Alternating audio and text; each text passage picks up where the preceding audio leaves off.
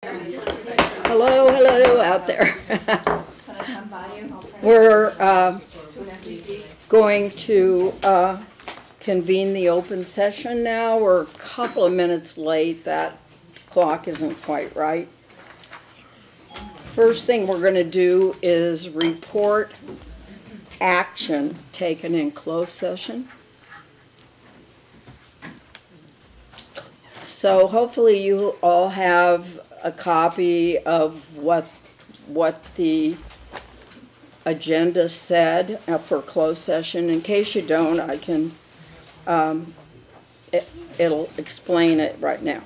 Okay, closed session agenda item number 4D pertains to anticipated litigation related to the district's conflict of interest code any member of the public that may be curious about the nature of the threatened litigation may refer to a letter sent by Mr. Bruce Holloway to the Santa Cruz County Board of Supervisors on or about January 14, 2019, copies of which will be provided as informational material in the next agenda packet or can be provided by the district upon request. The board has directed district counsel to request an opinion from the FPPC, Fair Political Practice Commission, regarding whether board members and any district staff are subject to section 87200 of the Political Reform Act.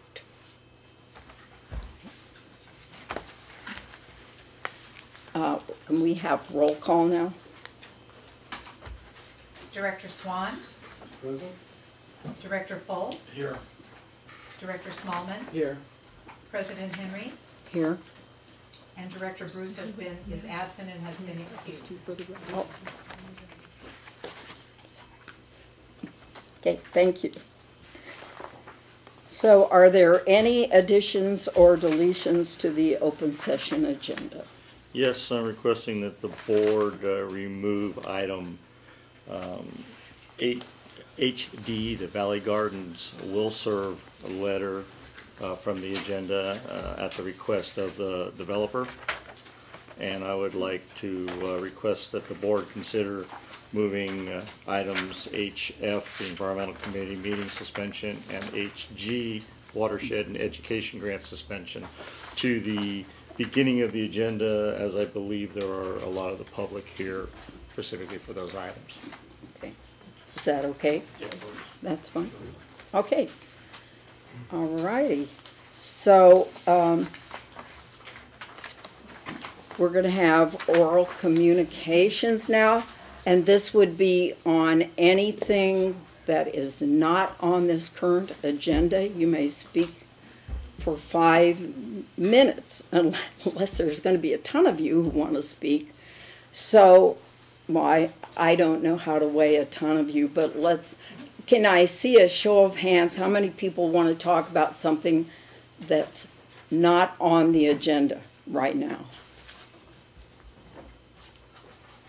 Okay, a couple of people. So um, we will give you five minutes, and I'm going to be asking this at various times tonight how many people want to speak, and we may reduce the time uh, so everybody has a chance to speak.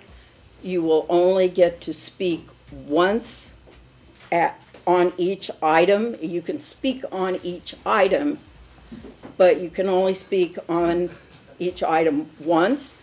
And I would like to ask you if you agree with somebody just say, oh, I agree with what Nancy Macy said, and don't repeat what she said. Just, I agree with what Nancy Macy said, and in addition, I think blah, blah. Okay? So that we hear everything that people want to tell us. Okay? All right. So, uh, so who wants to speak in right now? Okay, Okay, yeah, Deborah Lowen, Lompico. And I attended the, um, finance committee meeting yesterday, was it? Yes, some really interesting information on, on the last year's expenses and budget. We're going into a budget mode now, and anyone in who, people who've come here, you're interested in what the district is doing, I really recommend you go back and look at it, and then pay attention over the next couple of months. The board, Stephanie is going to be preparing a budget, and the board's going to be reviewing all the expenses, and this is where the rubber hits the, the road here. And it, it, it's gonna be the future of our district, the decisions that are made. Um, I really appreciate the board taking such a close look, there's some outstanding discussion at these committee meetings, and I encourage people to go to those too to get a better understanding of really what the responsibilities of the board are, and all the money that they have to take care of and responsibility, and thank you very much for doing that. Anybody else who wanted to speak? Uh, Okay, John Ricker. Thank you, Lois. Uh, John Ricker, uh, County of Santa Cruz Water Resources Division Director. I just wanted to take a chance to compliment your district on the work you're doing on sort of addressing the sustainability of your water sources. The presentation at the last meeting that, that uh, Jen provided really covered a lot of ground. I think it's really important that the work that you have been doing to you know, assess your sources, understand your sources, and protect your sources, both the watersheds, the streams, and the groundwater basins. And the, the resource agencies have been working closely, they appreciate the work that the district does. And I think that really helps them to have confidence in what the district's doing and gives you guys time to address your needs without sort of coming down on you with a hard fist. So I just want to compliment you on those programs. Okay, anybody else who, uh, Bruce? I'm Bruce Holloway from Boulder Creek. Um, In light of what I just heard, I want to remind the board that um, the county pursued a policy for more than 50 years, as I understand, of scouring creek beds to remove all the logs, you know, the dead fallen logs. And the reason the county pursued this policy was because in 1955, there was a terrible flood and hundreds of logs hammered out the bridge over Soquel Creek uh, for more than a year. Then in 1982, there was another terrible flood, and hundreds of logs hammered out the bridge over Soquel Avenue, uh, over the San Lorenzo River, and that was out for over a year. So the county pursued this policy for more than 50 years, and now they've got a new religion that um, we, we need to put large woody debris in the creek beds now. So now after 50 years, they've completely done up 180 and now they're telling us that they've, they've got it all figured out now, you gotta go install the, uh, the large woody debris. But I'll tell you, the number one thing that fish need is water. And this district has violated its permit in Welt, in Felton for ten years, that it's owned that agency. And most of the people in this room are proud supporters of the old board that completely, regardless of fish, has violated its water permit down in Felton. Uh, last month, there was an article in the Good Times that featured Jen Mickelson talking about raising awareness. Let's raise awareness about fish. Well, this district's the biggest violator in the county. So straighten up. I'm so disappointed to live here in a place where the board, I see some former board members think that they can just violate a fish and wildlife permit for ten years and then give lip service to raising awareness for what fish need. The hypocrisy is just unbearable. Uh, Thank you. Any other, anybody else out there want to speak? I see a hand way back there. Hi, Virgil from Oh. Um, After Deborah's comment, I would like to ask a question. And um, is the, re- is there gonna be a review of that budget summary? It's an excellent budget summary. I've never seen anything better. Um, uh, Some of the costs on there are, are kind of like, we spent almost a half a million dollars on legal fees last year. 83, 84,000 on, um, on the, um, the, um, grand jury report. That's amazing. And I was just wondering if that is ever gonna be up for discussion at any future meeting, maybe? Thanks. Okay. Anybody else comment on something that's not on the agenda? Okay, Um, yes? um, yes, my name is John Solis from Felton. Um, say, I was wondering if it'd be possible for the San Lorenzo Valley Water District to set up the the meeting room with a, a guest Wi-Fi. There, right there. Oh, thanks. Oh, that was easy. I wish we could make everybody that happy. That's for something else. Okay, Yeah, right. All right. Password's a little tricky. Negotiate. Yeah. Would you guys mind passing the password? Sure. There's several copies there. Okay, so, um, we, ah, are going to, uh, skip to item, um, F and G under new business. And, um, uh, the board will discuss things, and then I will ask how many of you want to have time to speak. So, item F, the environmental committee meeting suspension, that's, I mean, that's been put out there like we're gonna end it forever. The only problem here is that there is a problem with both, both board members being able to attend those meetings, and we're working on a time and a place. And we also have, uh, information out there, we've got three people who've applied to be on the environmental committee. We don't have anybody right now. And one of the reasons for the suspension was this month, there was an environmental committee meeting posted when they knew there wouldn't be a quorum. And people from the public, I don't know who they were, came to the meeting and the meeting had to be canceled. And I don't want to see that happen again.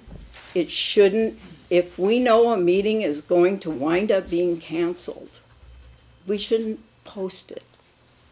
So people won't come. That's the only reason for that. This is no long-term suspension or anything. It's just until we get everything worked out, which will hopefully happen in March. Uh, so how many of you would like to address this item? Okay. Um, uh, you can have three minutes, okay, each. So, hands up again. Okay, uh, next to Nancy Macy. My name is Berta McPherson, I live in Boulder Creek.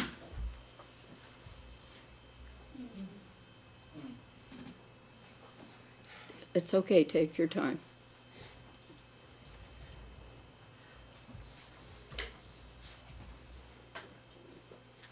this place of all places I've been, except for my home, is the epitome of who my husband was. He spent a lot of time here, and he spent a lot of time serving on the environmental committee before he was on the board and after he was on the board. And I appreciate very much that it isn't a done deal that you're just getting rid of the environmental committee. It was very important to him, and he saw, it gave him a voice for uh, really important matters that happened from the watershed management uh, plan. Uh, So I really encourage the board to uh, continue to have that in the future. Thank you. Uh, Eric?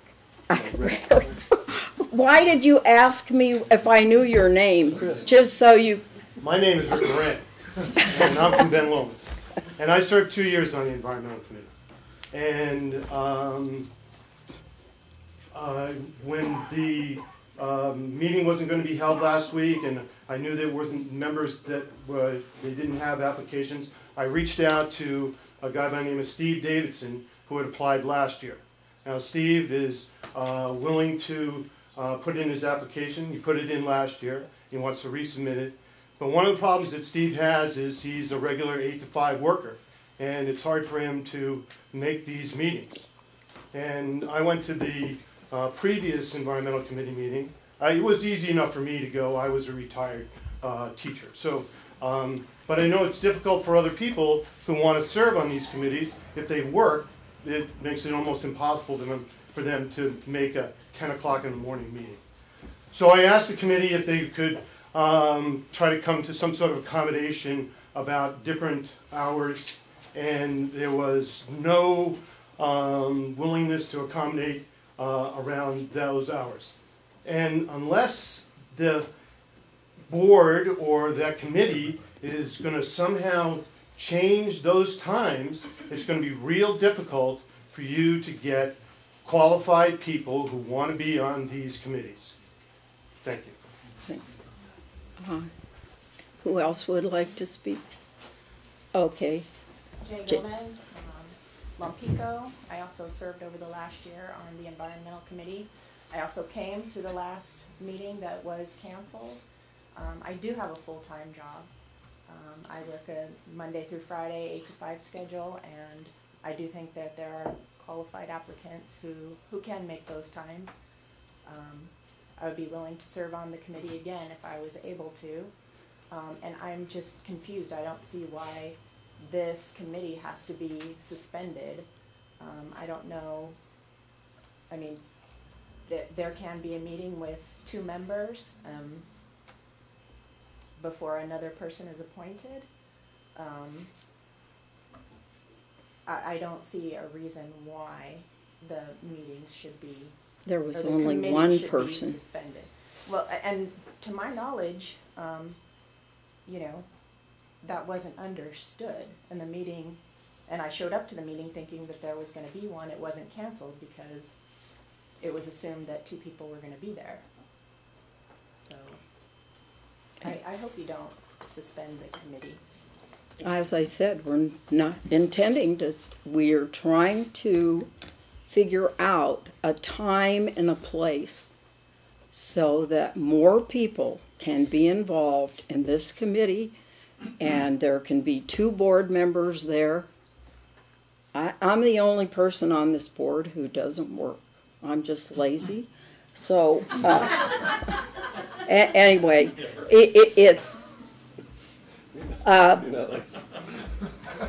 it, it's, we want to accommodate people, and that's why we're looking at having a time and a place, and the meetings might not be here. They might be down at the Johnson Building, if, if you know where that is. So, Next to Foster. Okay. Uh, Jean? Um, Jean Ratcliffe, I'm from Felton, and I served on the environmental committee as a board member. And just to comment, um, I think the important thing about this committee is environmental work is core to everything the district is trying to get done, including capital improvement projects. Uh, this is a very impacted department, our staff are just slammed with environmental work. I think anything the committee can do to relieve the pressure on um, the staff in the environmental committee is critical because permitting is the first step to any infrastructure project, doesn't matter what it is. Any infrastructure project, you've got to have permitting. And that's, you know, a big chunk of what they do. So I think the committee should be prioritized by the board. And I understand that the scheduling complications, I'm not privy to people's schedules, but I will say, when I um, came on the board first, I too was working full-time, and I wasn't my own boss, I worked for somebody else that set my hours. But I talked to, you know, I arranged it, because it was a top priority. Attending board meetings and attending committee meetings was my top priority as a board member, over my nine to five. So I just urge you to get this going as quickly as possible, to expedite projects in the district, to support staff, and to make it a real priority, because it is critical. Thank you. So we are going to be getting an engineer and a lot of the permitting that environmental does, the engineering will be doing, so that'll be relieving some of their burden. Okay, I can't see who's got their paw. Okay, come. My name's Suzanne Shetler, I'm from Ben Lomond. I agree with what, what Jean just said, and um, I think that the very presence of an environmental committee, I, I'm, it seems confusing whether this is a temporary sus- suspension or a permanent one. It's temporary. But I think you need to maintain a presence in the public's eye for credibility, because you're not just extracting a resource. You are doing good for the community, you're promoting stewardship among the community. And that's what the environmental committee does. Okay, thank you. Tony? Um, my name is Tony Norton, I'm from Lompico, and I just wanted to clarify, so that, that it was suspended because there were only, there was only one person that showed up at the last meeting, is that the only reason Well- it's suspended? No, that, it, it canceled the meeting, but didn't wanna see that happen again, because until we get a place where both board members are gonna be there, and we have a, also at least one committee person, and we wanna have more than one citizen committee person on this, uh, uh, committee,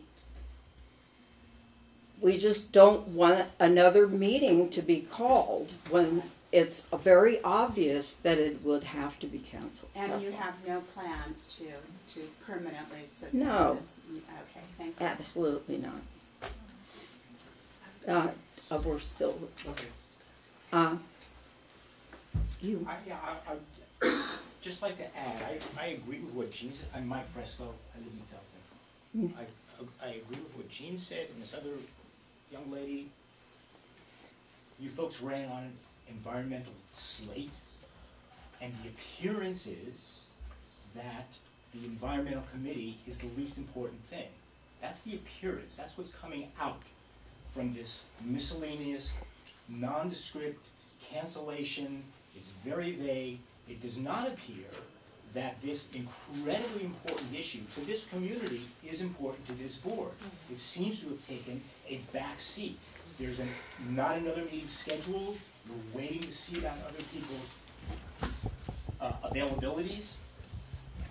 I would urge you to make this a priority, because it, it- because the post, the indefinite postponing of this meeting, along with the rest of the business that's gonna be discussed this evening, ending the outreach programs, does not bode well for what you folks ran on.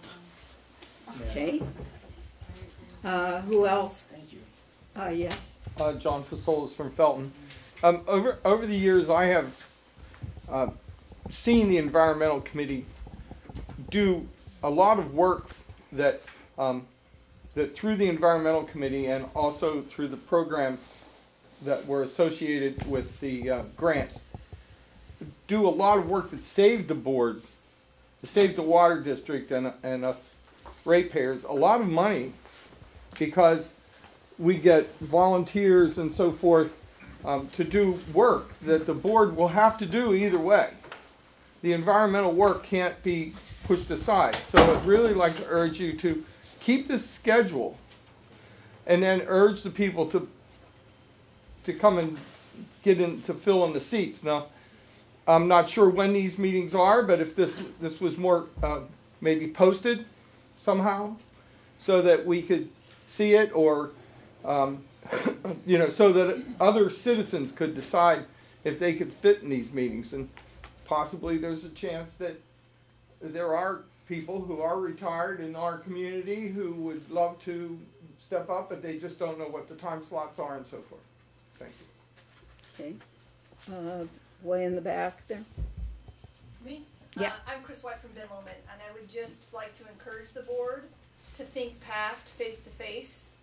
That there are other options to having people attend meetings, Zoom, GoToMeeting, Skype. We don't all have to be in the same room, and might alleviate some of those issues of people not being able to attend with the drive, particularly if they work over the hill or in Santa Cruz or whatever. Still participate during work hours because I feel you guys over there because I have to do the same thing where I work at a public agency and my evenings get taken up quite a bit.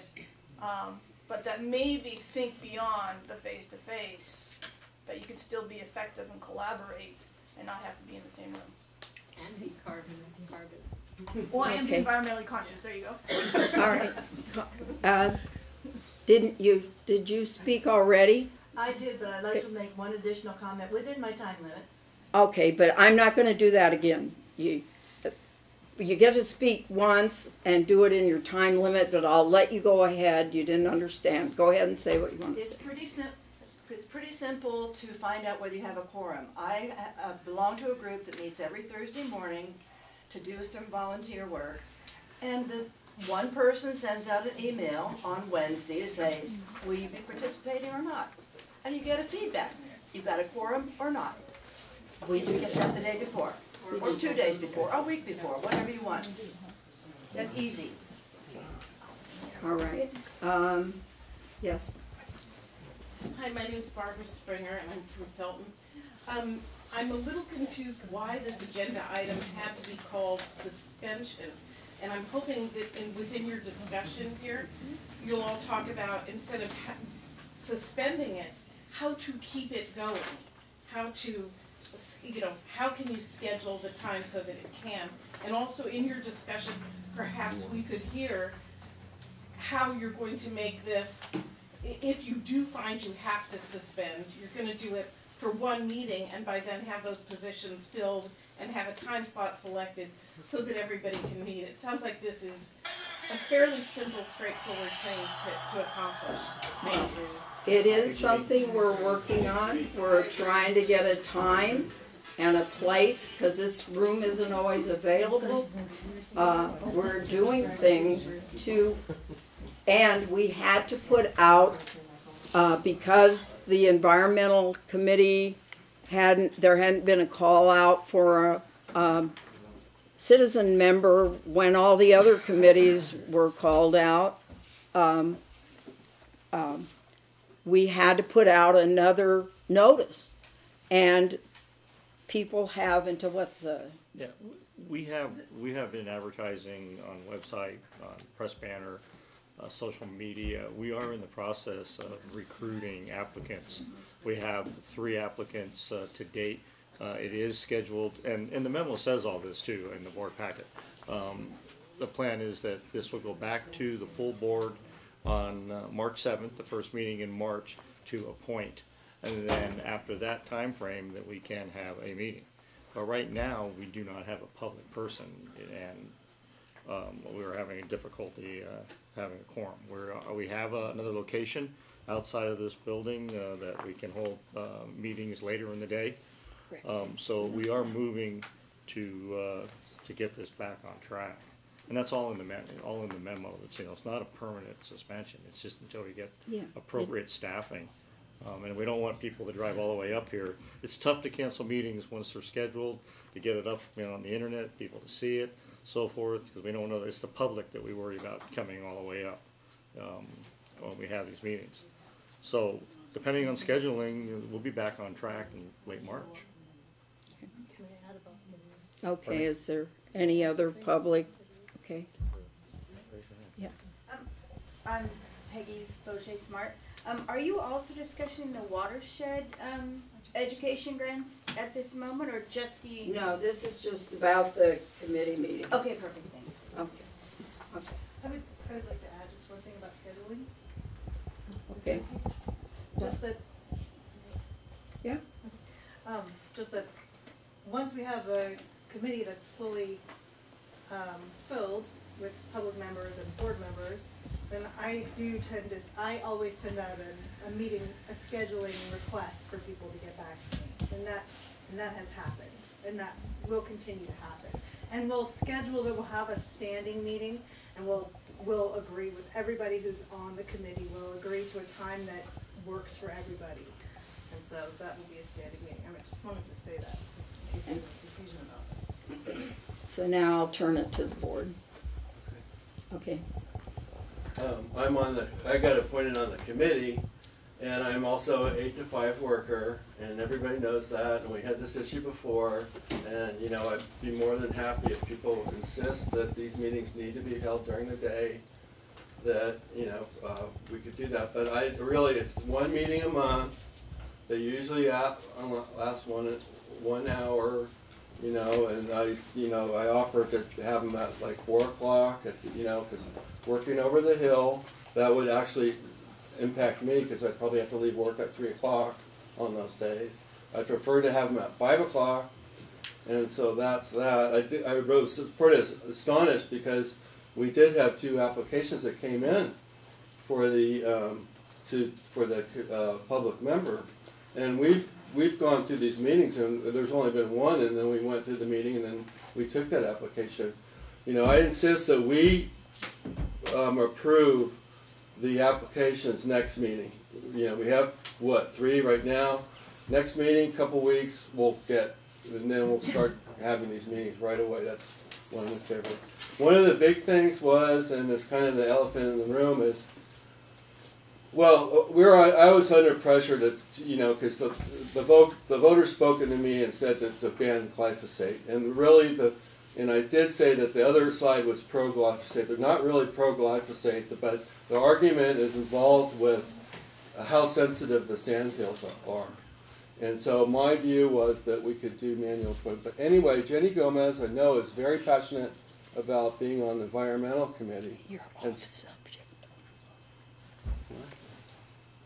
Not really, but I'll uh, stop there. But um, anyway, we'll just we need to get it together and get these meetings together next week. I, I don't know. I, I, I what, what was the reason? Why didn't we not appoint an environmental? Well, we I want to know what the re, why what reason? Sure, we have a not- schedule. We have it listed in the paper with a deadline that people have to Yeah. apply. And we had three applications. Well, now, but the Right deadline's now. not up. Yeah, we have Once- three applicants. Why didn't we appoint? Because the deadline's not up. What are you going to appoint and then all of a sudden you Oh, get okay. somebody else? We have a deadline listed. When that deadline is up, we will bring those to the next regular board meeting. All right. Well, next next Which is meeting, March seventh. folks, Yes. we will have we will begin our environmental committee meetings. Um, and I, I, you know, I, I, maybe it's too late now, but actually, I would like to have Jenny Gomez back on the meeting, but because I know, but you, we made that rule about not having, because you're on the LADAC committee, right?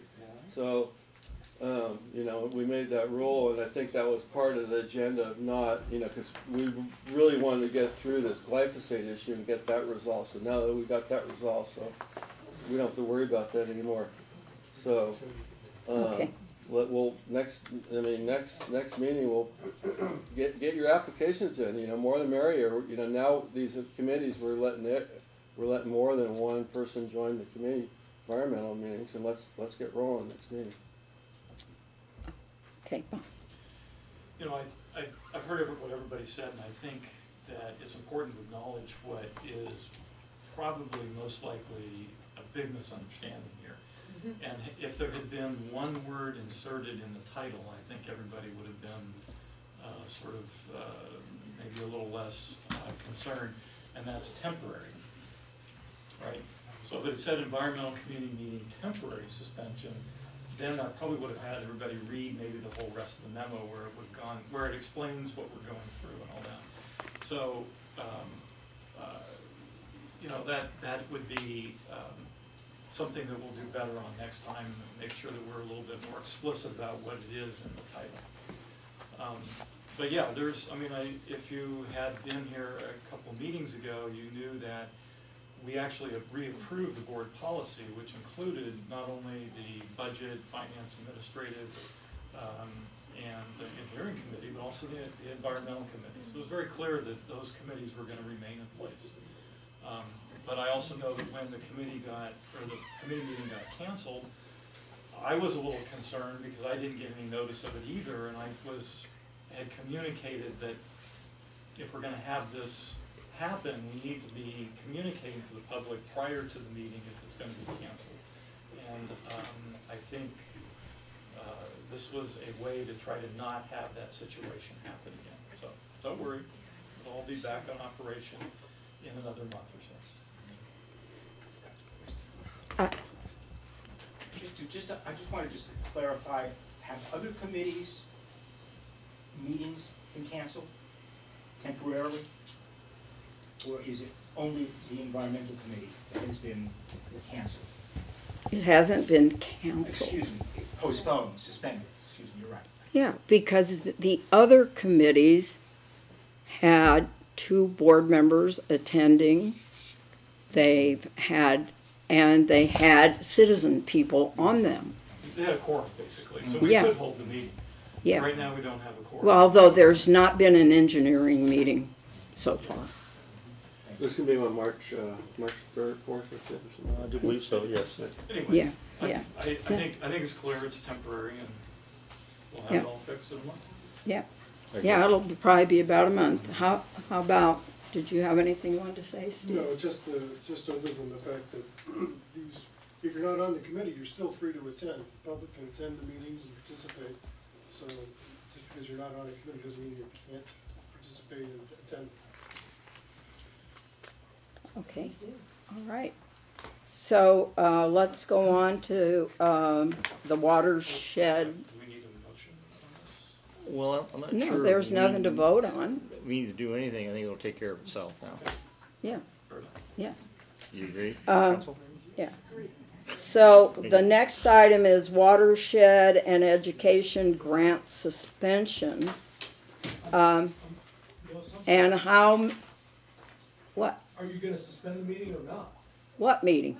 The environmental committee? You had it as an action item. Yeah, I mean, it's, uh, talking There's about- no committee meeting until we have it fully staffed. You don't have two, two board members on, on that? We don't, we don't have two board members who can att- can't, that can attend, well, we have two board members who can, can, who can attend, but there's a conflict on when they can meet and where they can meet. And that's the issue here. Plus, we're looking for a citizen, at least one citizen committee member for this committee. What our process will be is there's not really a environmental meeting scheduled yet for the month, month of March. So we'll appoint, the board hopefully will appoint on March seventh, and then shortly right after that appointment, the environmental analyst will reach out to the committee members, talk about scheduling their first meeting. They'll go to that first meeting, and then they'll take the scheduling from there. So we'll be back on track mid to late March. Okay.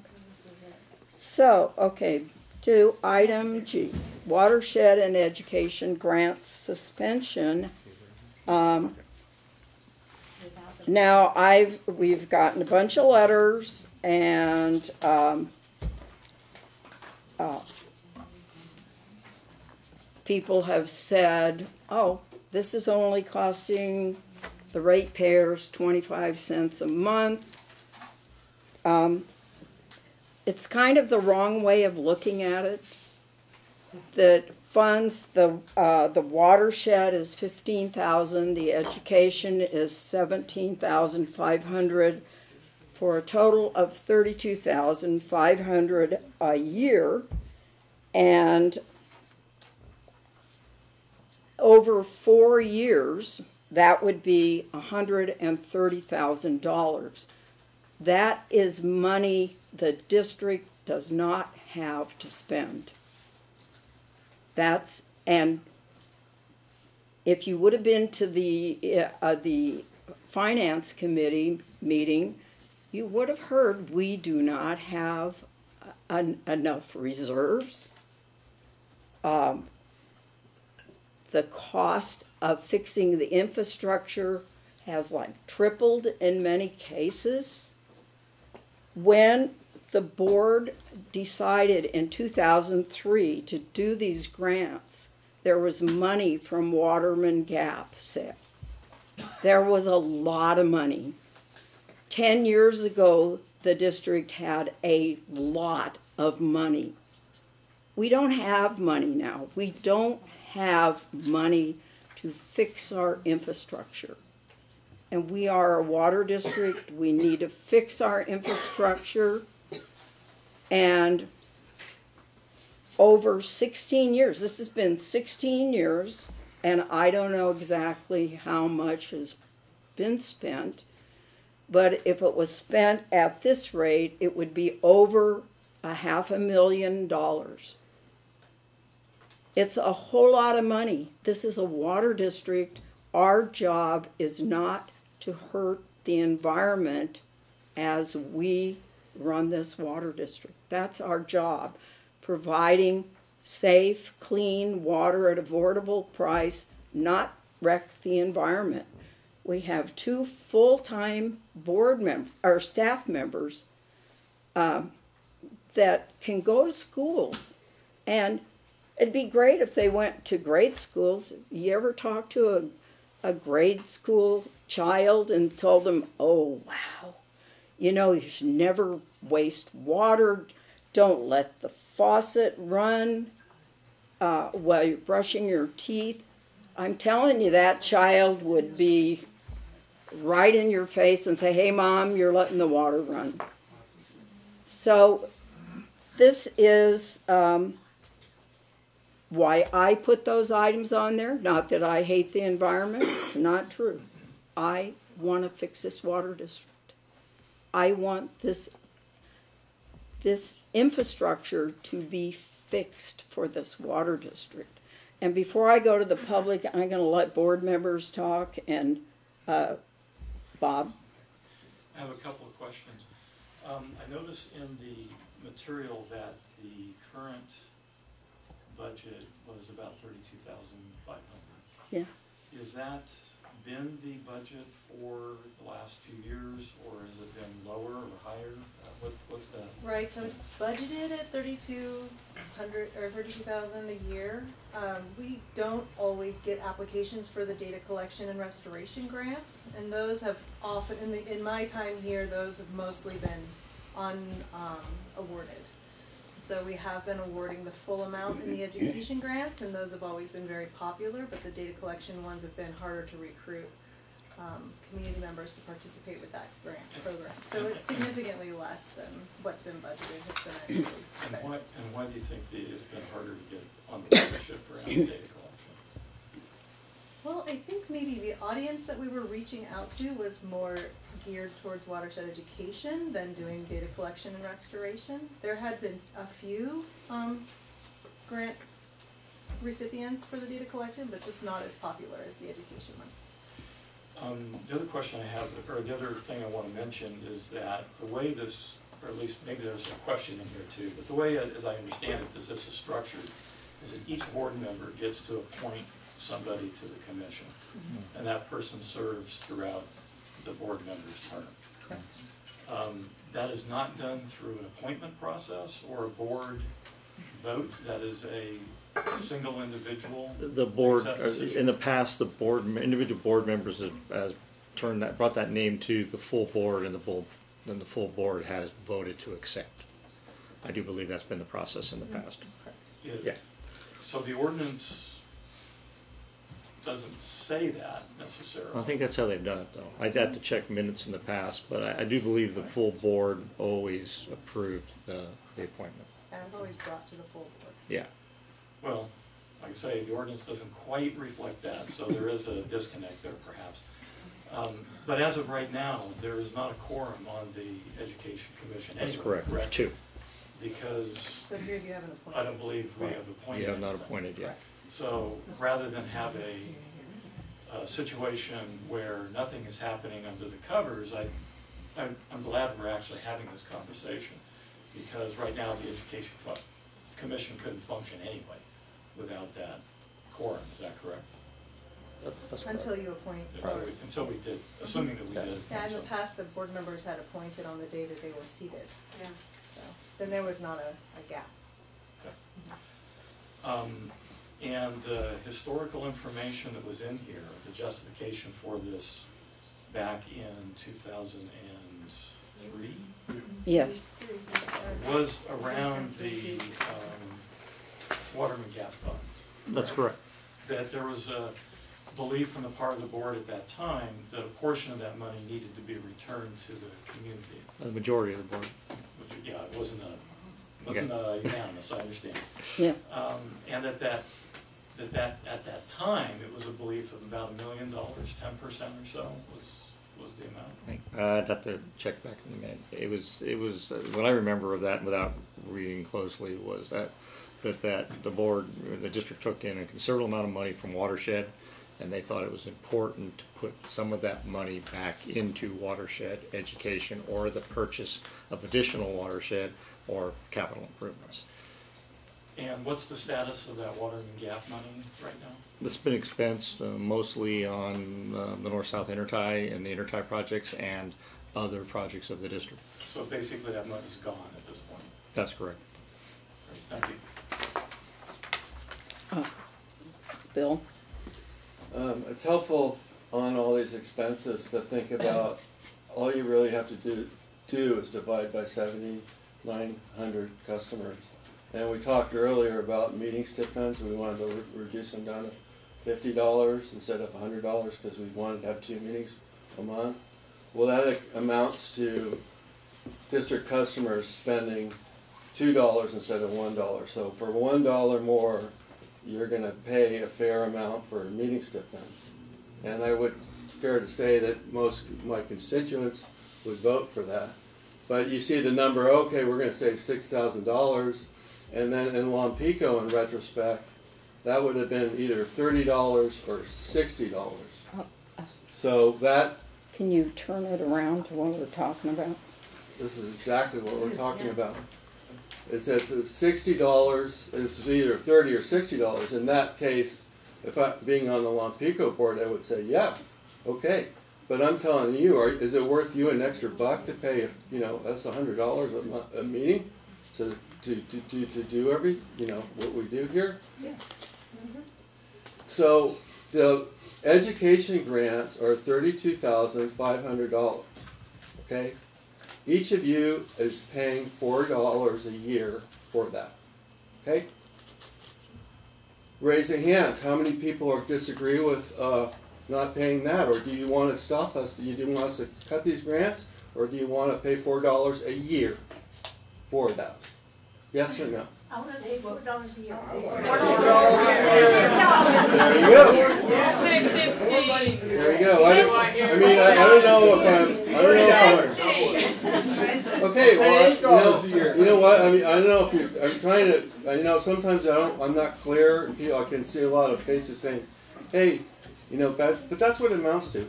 And there were no And if you want, if you really want us to save money, the real meat and potatoes are things that aren't so subtle. And one of them is the uh, construction projects. Market is very high, so we're getting really high bids. We'll have another item up tonight about the PRVs. Very high bid. Well, we're putting together a, a pipe crew that can put that, do some of these jobs for hundreds of thousand dollars less. Our legal fees, all the legal fees are about, you're paying about a hundred bucks a year for. Once it gets over fifty bucks, you know, it's getting into, you're getting into money here. But we're talking about four bucks a year. And as far as I'm concerned, these grants are gonna stay. Here, here. And the meetings meeting sticker.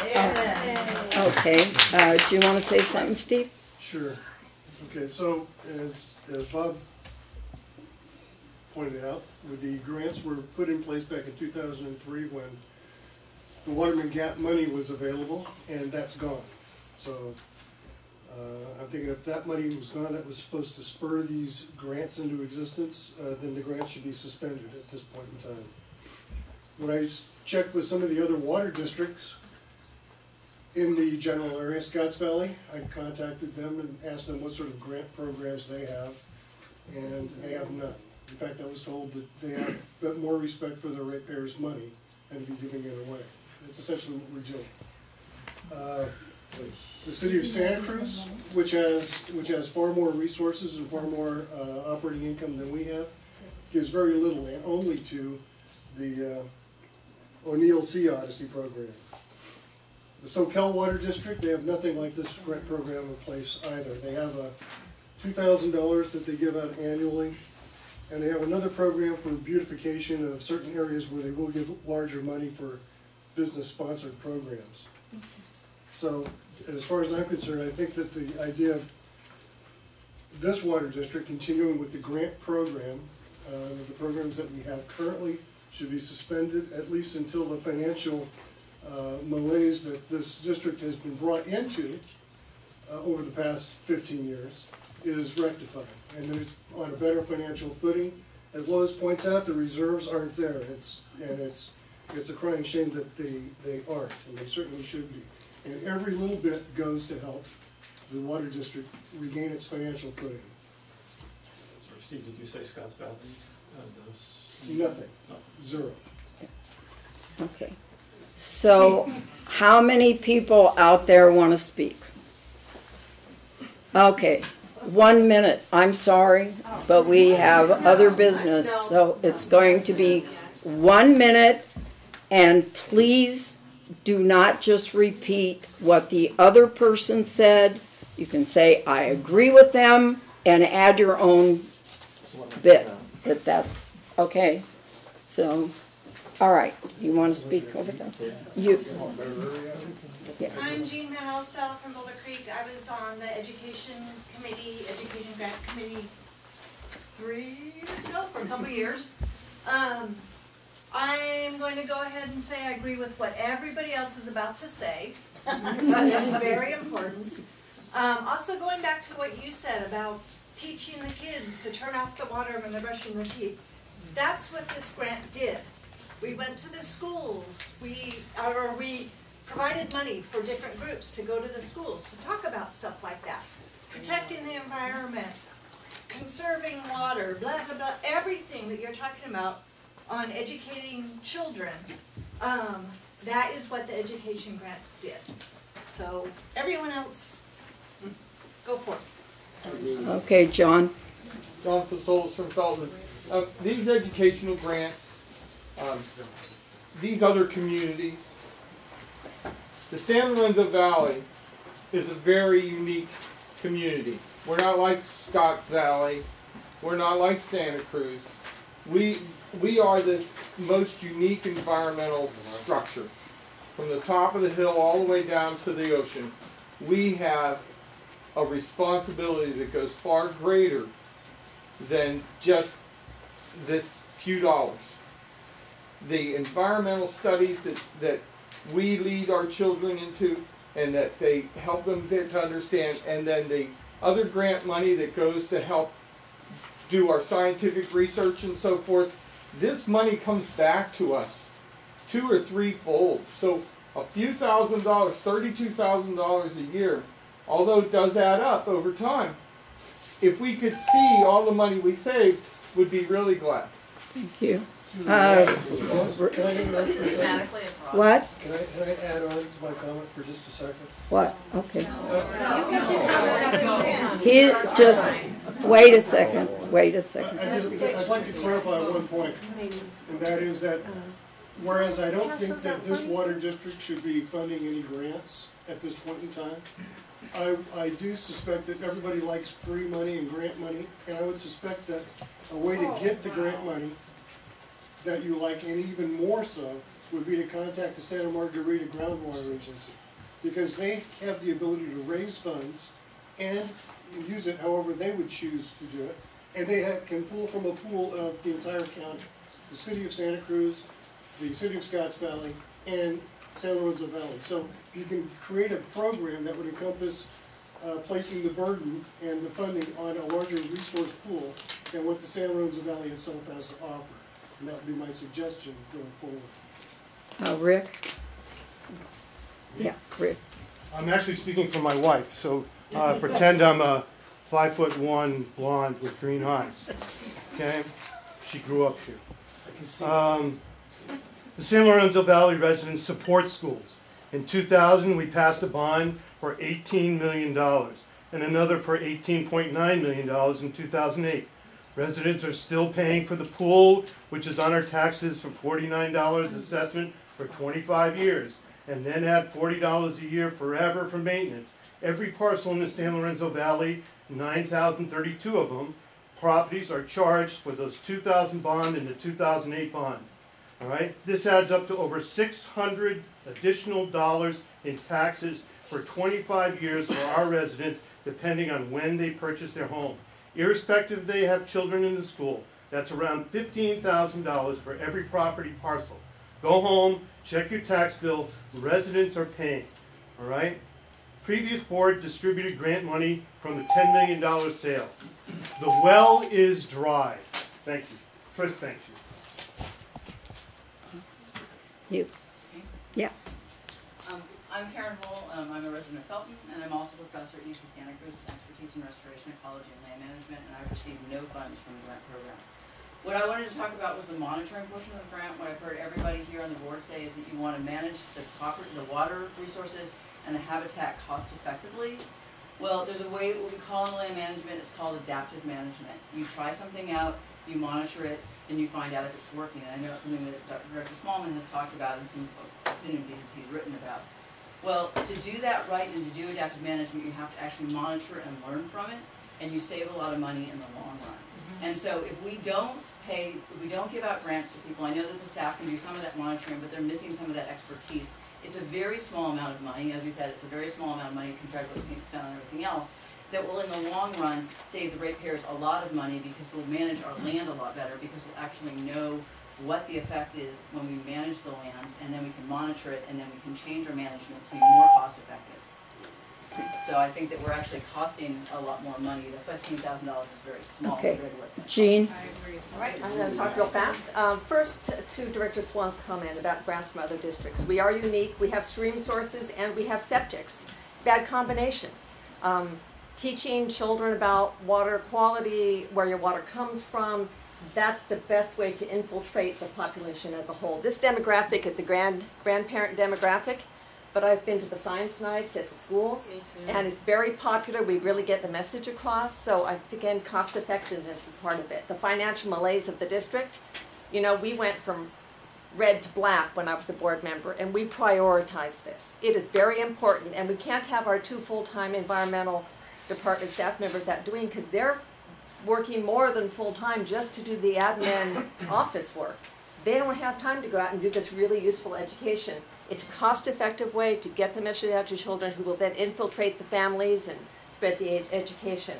And the last thing about this is, because of the complexity of our district, I don't think the new board members have really got a grasp on it yet. Thank you. Uh, Yes, the check, red, black check. Um, I'm, my name is Cassie Springer, and I live in Boulder Creek. And um, this is my son, okay. Um, and um, I'm a teacher, and I know that teaching young people about the environment and the watershed is extremely important. And I just heard a lot of comments, previous discussion about how hard it was to get people to join committees. And I think that teaching the younger generation, speaking to what Jean said, uh, teaching the younger generation about the watershed will sort of maybe slowly erase the problem of not having people join those committees that we need to have them join. Uh, Tony? Tony again from um, Lumpy Um, I, I understand what you're saying, and I think that everything, that ev all the comments everyone said, it, it makes such great sense, and I think it should be done, but I don't think that our water money that we pay to service us and to build our infrastructure, it's a mess right now. I, we should be spending our money on fixing our infrastructure and getting fresh, clean water to our homes. And I think that all of the people in this room that believe in this should form a new organization, and I will help. I'm good at going out and asking for money for charities, and have our own group that would deliver this kind of education to our children. Thank you. Yeah. Yeah, Jane Orbuck. I'm a retired science teacher of 30 years in the Valley. And I think this district should be proud of the fact that you have these watershed education grants. No other districts are doing it. You should publicize it. I've had students write you letters. I have teachers, parents, community members here. How do you keep clean water? You have an educated public. You have engaged students. And I know Santa Cruz City Water Department, one of their key members was at our poster review session just the other day, and he's going back. He was so impressed with what we are doing with your grant funding. He's going back to Santa Cruz City to see if their water department will implement this. So we're actually a role model in the community. And I'm really incensed that you're even considering dropping the program. If you maybe have fiscal problems, maybe you can reduce the amount of funding, but as soon as you cut a program, you never get it back. That's impossible. And I beg you to read all the letters from students, et cetera, because, and you really should push the model that this water district has set up in the community. Thank you. Uh, Jenny? I agree with um, what she said, and also, you know, this grant money is a fraction of a percent of the operating budget. It is a tiny amount, and it's not going to make or break any capital improvement project. And I think, you know, you want to roll back rates. Uh, we had this rate increase also to help out with the capital improvement, and nobody's mentioned that. Like I said, you know, eliminating this program is not going to allow you to roll back the rates. Not at all. Um, I think this grant program is also about being a good neighbor and being a good player in our community and you know engaging with the local schools and the children and and and teaching them about stewardship. And i think there's a lot of people in this valley who have a lot of environmental uh, values and priorities. And I, I don't think that the majority of the voters who voted for you would be happy with with you eliminating this environmental program Uh, Bruce? Um, I want to say, I feel a little differently about the data collection grants. To call these things grants, I think it really is a slap in the face of the public to say, we got money, we're just giving it away. The data collection aspects, I think, uh, that could be reframed as requests for proposals. Um, and I do think that some of that does benefit the district because the district owns so many acres.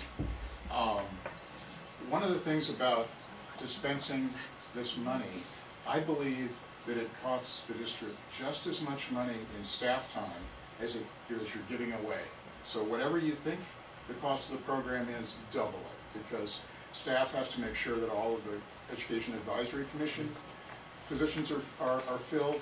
It takes, you know, multiple iterations, emails to generate all of those applicants and then scheduling the meetings.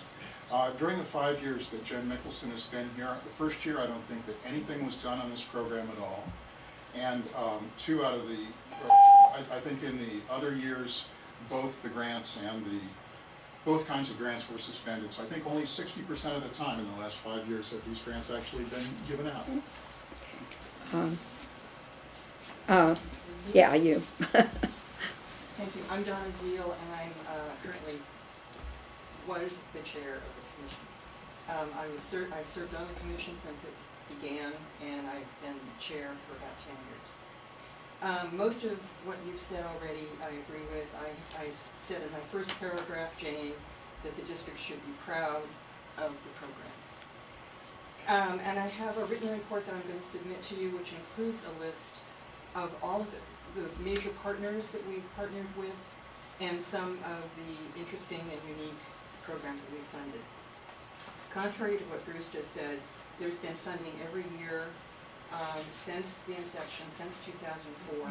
Um, the data collection grants were not um, uh, created initially, so they came in uh, further on.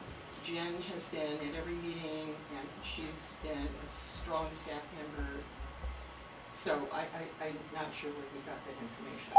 Um, I would like just to say that um, your mission statement and your um, strategic plan speak to your dedication to education and stewardship. And this um, commission fulfills that for you and helps you to meet your goals. So I strongly encourage you to continue. Thank Um, I'm Peggy Foshay Smart. I was also on the committee for years and years and years. Um, some of the data collection that was done was actually stream levels. Somebody took a kayak and went up and measured stream levels, which is information that the committee needed that he then did for free. And a couple things were done like that. One of the things was done, you said nothing was done for Scotts Valley. Um, we gave a grant to Scotts Valley for them to give out information at a meeting, at a big um, festival that they had. That was one of our grants. Um, we um, gave money to O'Neill. Um, also for them. Um, and some things real quick, Santa Cruz Museum Natural History, the school districts have got a ton of money from us, things that kids are still benefiting from. They got a grant, teacher got a grant, it's been using this stuff forever. Um, the, the, wa- the, what is it, the watershed and the Nature Academy. They have tons of materials and things that they've been using for years and years from us. There's schools up here also. The Coastal Watershed Council, Santa Cruz City Schools, YMC Camp Campbell has a bunch of stuff that's still up there that the kids use during the school year and over the summers. The Mountain Park Foundation, Valley Women's Club, um, Please, um, Mount Hermon Outdoor School, USC, Monterey Bay Master Gardeners, Sand Hills Alliance for Natural Diversity. Somebody else read this quick.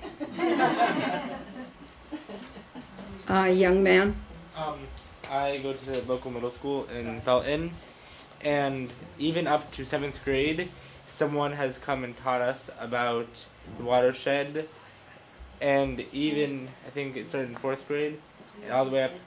It's important, to, as many people said, it's important to teach people this because we are completely lucky to live in these amazing areas, these redwoods, and like just miles that way, Big Basin, Felton, Henry Cowell. We need to teach the younger people, like people younger than me, that they need to like understand how lucky they are to live here, so we can preserve those parks for uh, uh, millennium to come.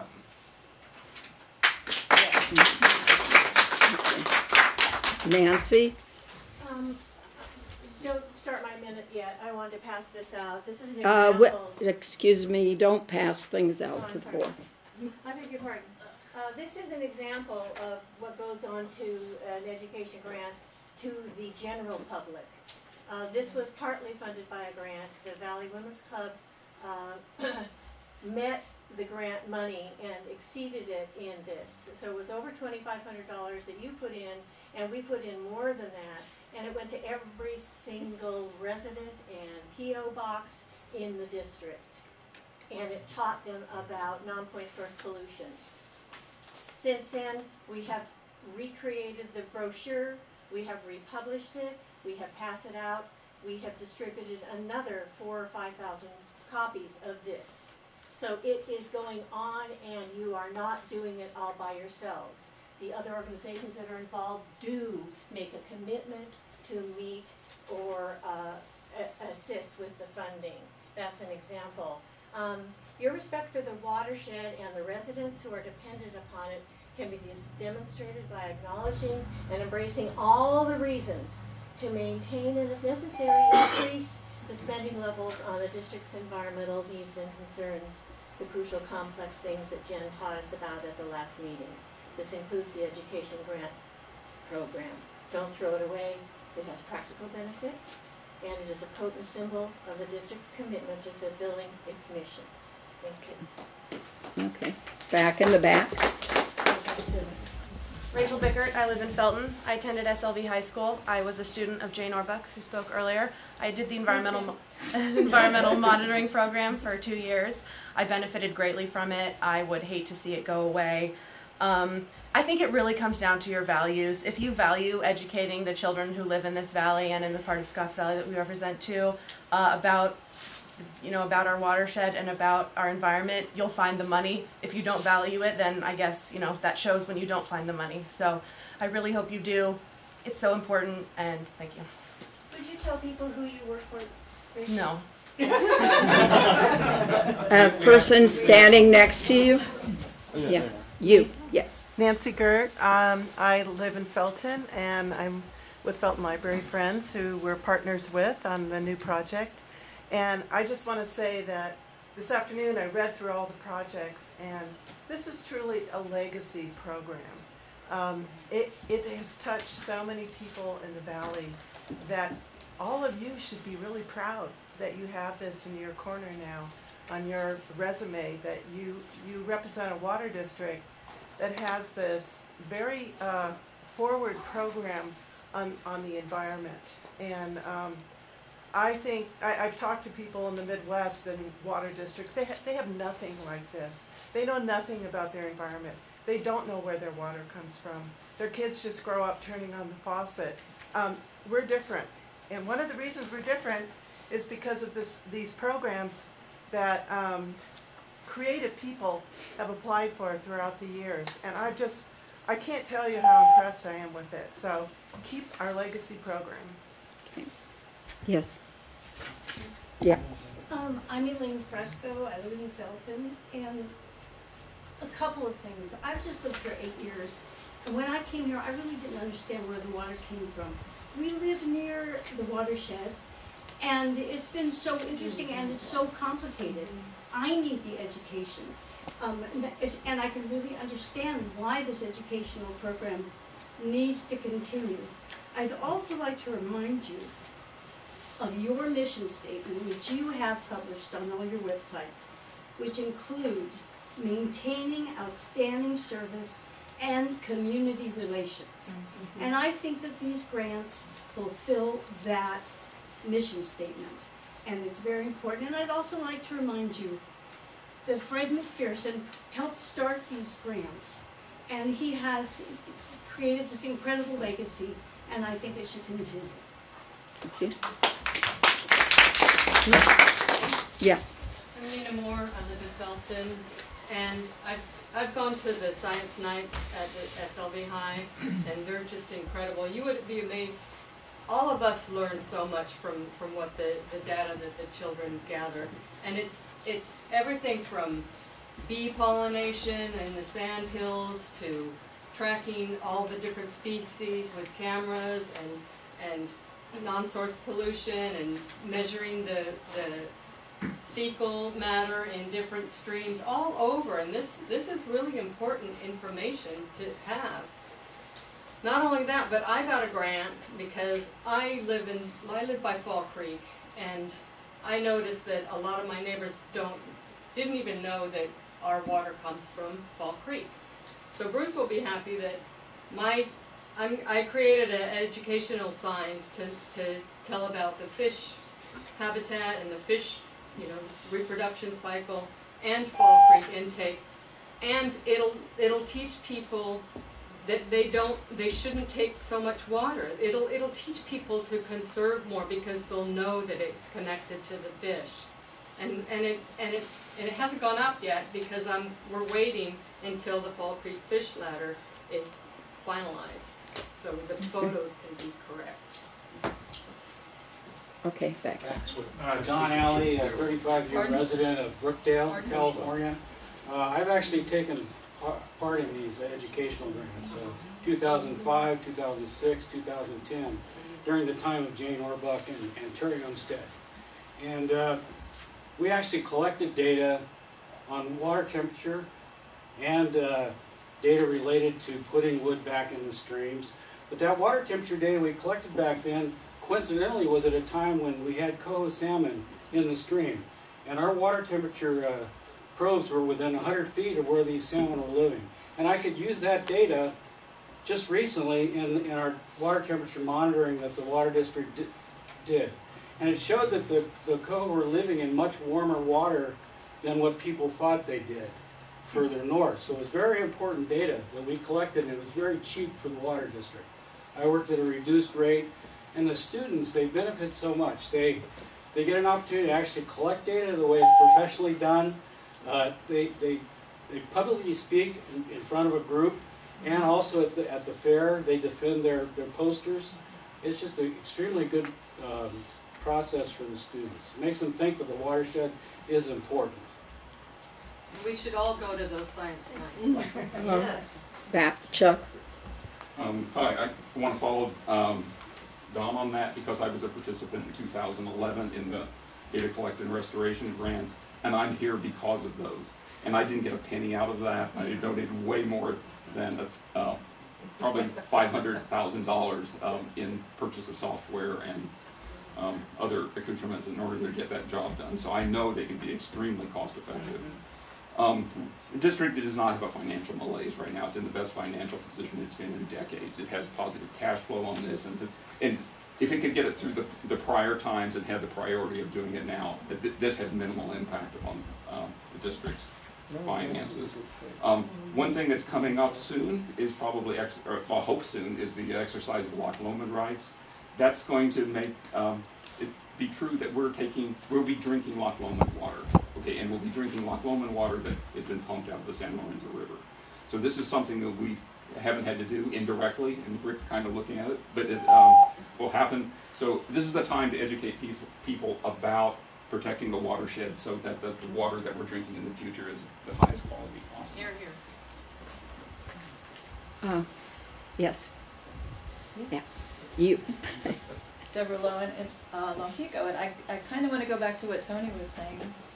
All these things are really fascinating, wonderful, contribute to our community. But the question is, is it the water district's responsibility? And I agree with her, the water district's responsibility is putting fire hydrants in. That thirty-two thousand dollars would put a lot of fire hydrants and upgrade size of pipes to get water flow. I looked into, we have a very robust uh, source of educational resources. I have teachers in my family, and I'm amazed by the watershed education programs that go through the County Office of Education. So I don't think that science is going to come to a stop if these programs are discontinued. And, and it, along with Tony, I think this room, this group of people, you are the core. You have the power. Please take this energy and form something. We have Valley Women's Club, who has a, a very robust environmental committee. They were very instrumental at the beginning of this. I think it's coming full circle around now that that water, the Waterman Gap money is there. Go out. I'm going to write letters to the Valley Women's Club. I'm going to write letters to the Office of Education, and I invite all of you to join me in writing letters to continue these programs, get the schools to fund them, get Valley Women's Club involved, get your group dynamic going. Thank you. Okay, yes. Hi, uh, Andy Benkert, uh, Ben Lomond. Um, I think uh, education, watershed education, is a very important aspect of what the district does. I think when it comes from the district, people give it a little bit more weight. It's so important that it's also included in the strategic plan, and let me read a little bit from that. To protect the district's water resources over the long term, it is important to raise awareness of water conservation and watershed protection and stewardship among residents of and visitors to the San Lorenzo Valley River watershed. The mission of the district's education program is to provide funding for educational and other projects that enhance the understanding of the San Lorenzo River watershed or improve the watershed's environmental health. That's in the strategic plan. I know it's going to be talked about later on tonight. Thank you. Yes. Uh, I'm Laura Dolson, I'm on the SLV school board, and I've received quite a few communications from people in our education community about this issue, and they're very concerned. Um, on a personal note, the day before yesterday, I was able to participate in the poster session for our environmental monitoring students, where scientists from the area get together to give feedback to the kids on their presentations and their posters and on the data that they've collected. And two of them collected data directly relevant to, in fact, on water district property, I think probably in, in coordination with you, and others very pertinent to the water district. I, I have a letter here from one of our former students who now is uh, the Outreach and Watershed Education Specialist for the Cache Creeks Conservancy in Woodland, California. Our students go on to contribute to the scientific community, contribute data, contribute in their careers. And if I understood what you were saying earlier, the original idea was that about a million dollars would be given to education and outreach That's from the Waterman number. Gap sale, and that that has not nearly happened. I'm not sure about that number. That's not the case. Yeah, I don't think that's the case. Okay, well, that's what I heard. Okay, thank you. Anybody else? Um, Yeah, Hi, Barbara Springer, Felton. Uh, I think in numbers, and so I just wanted to say something related to the numbers on this. I pay about hundred dollars a month for water on my property. We are talking about, it's important when you say it, it's thirty-two thousand dollars. No, think of it, what it really is per person compared to what they're doing. This is twenty-five cents per household of that hundred dollars that I'm spending, ten cents per person.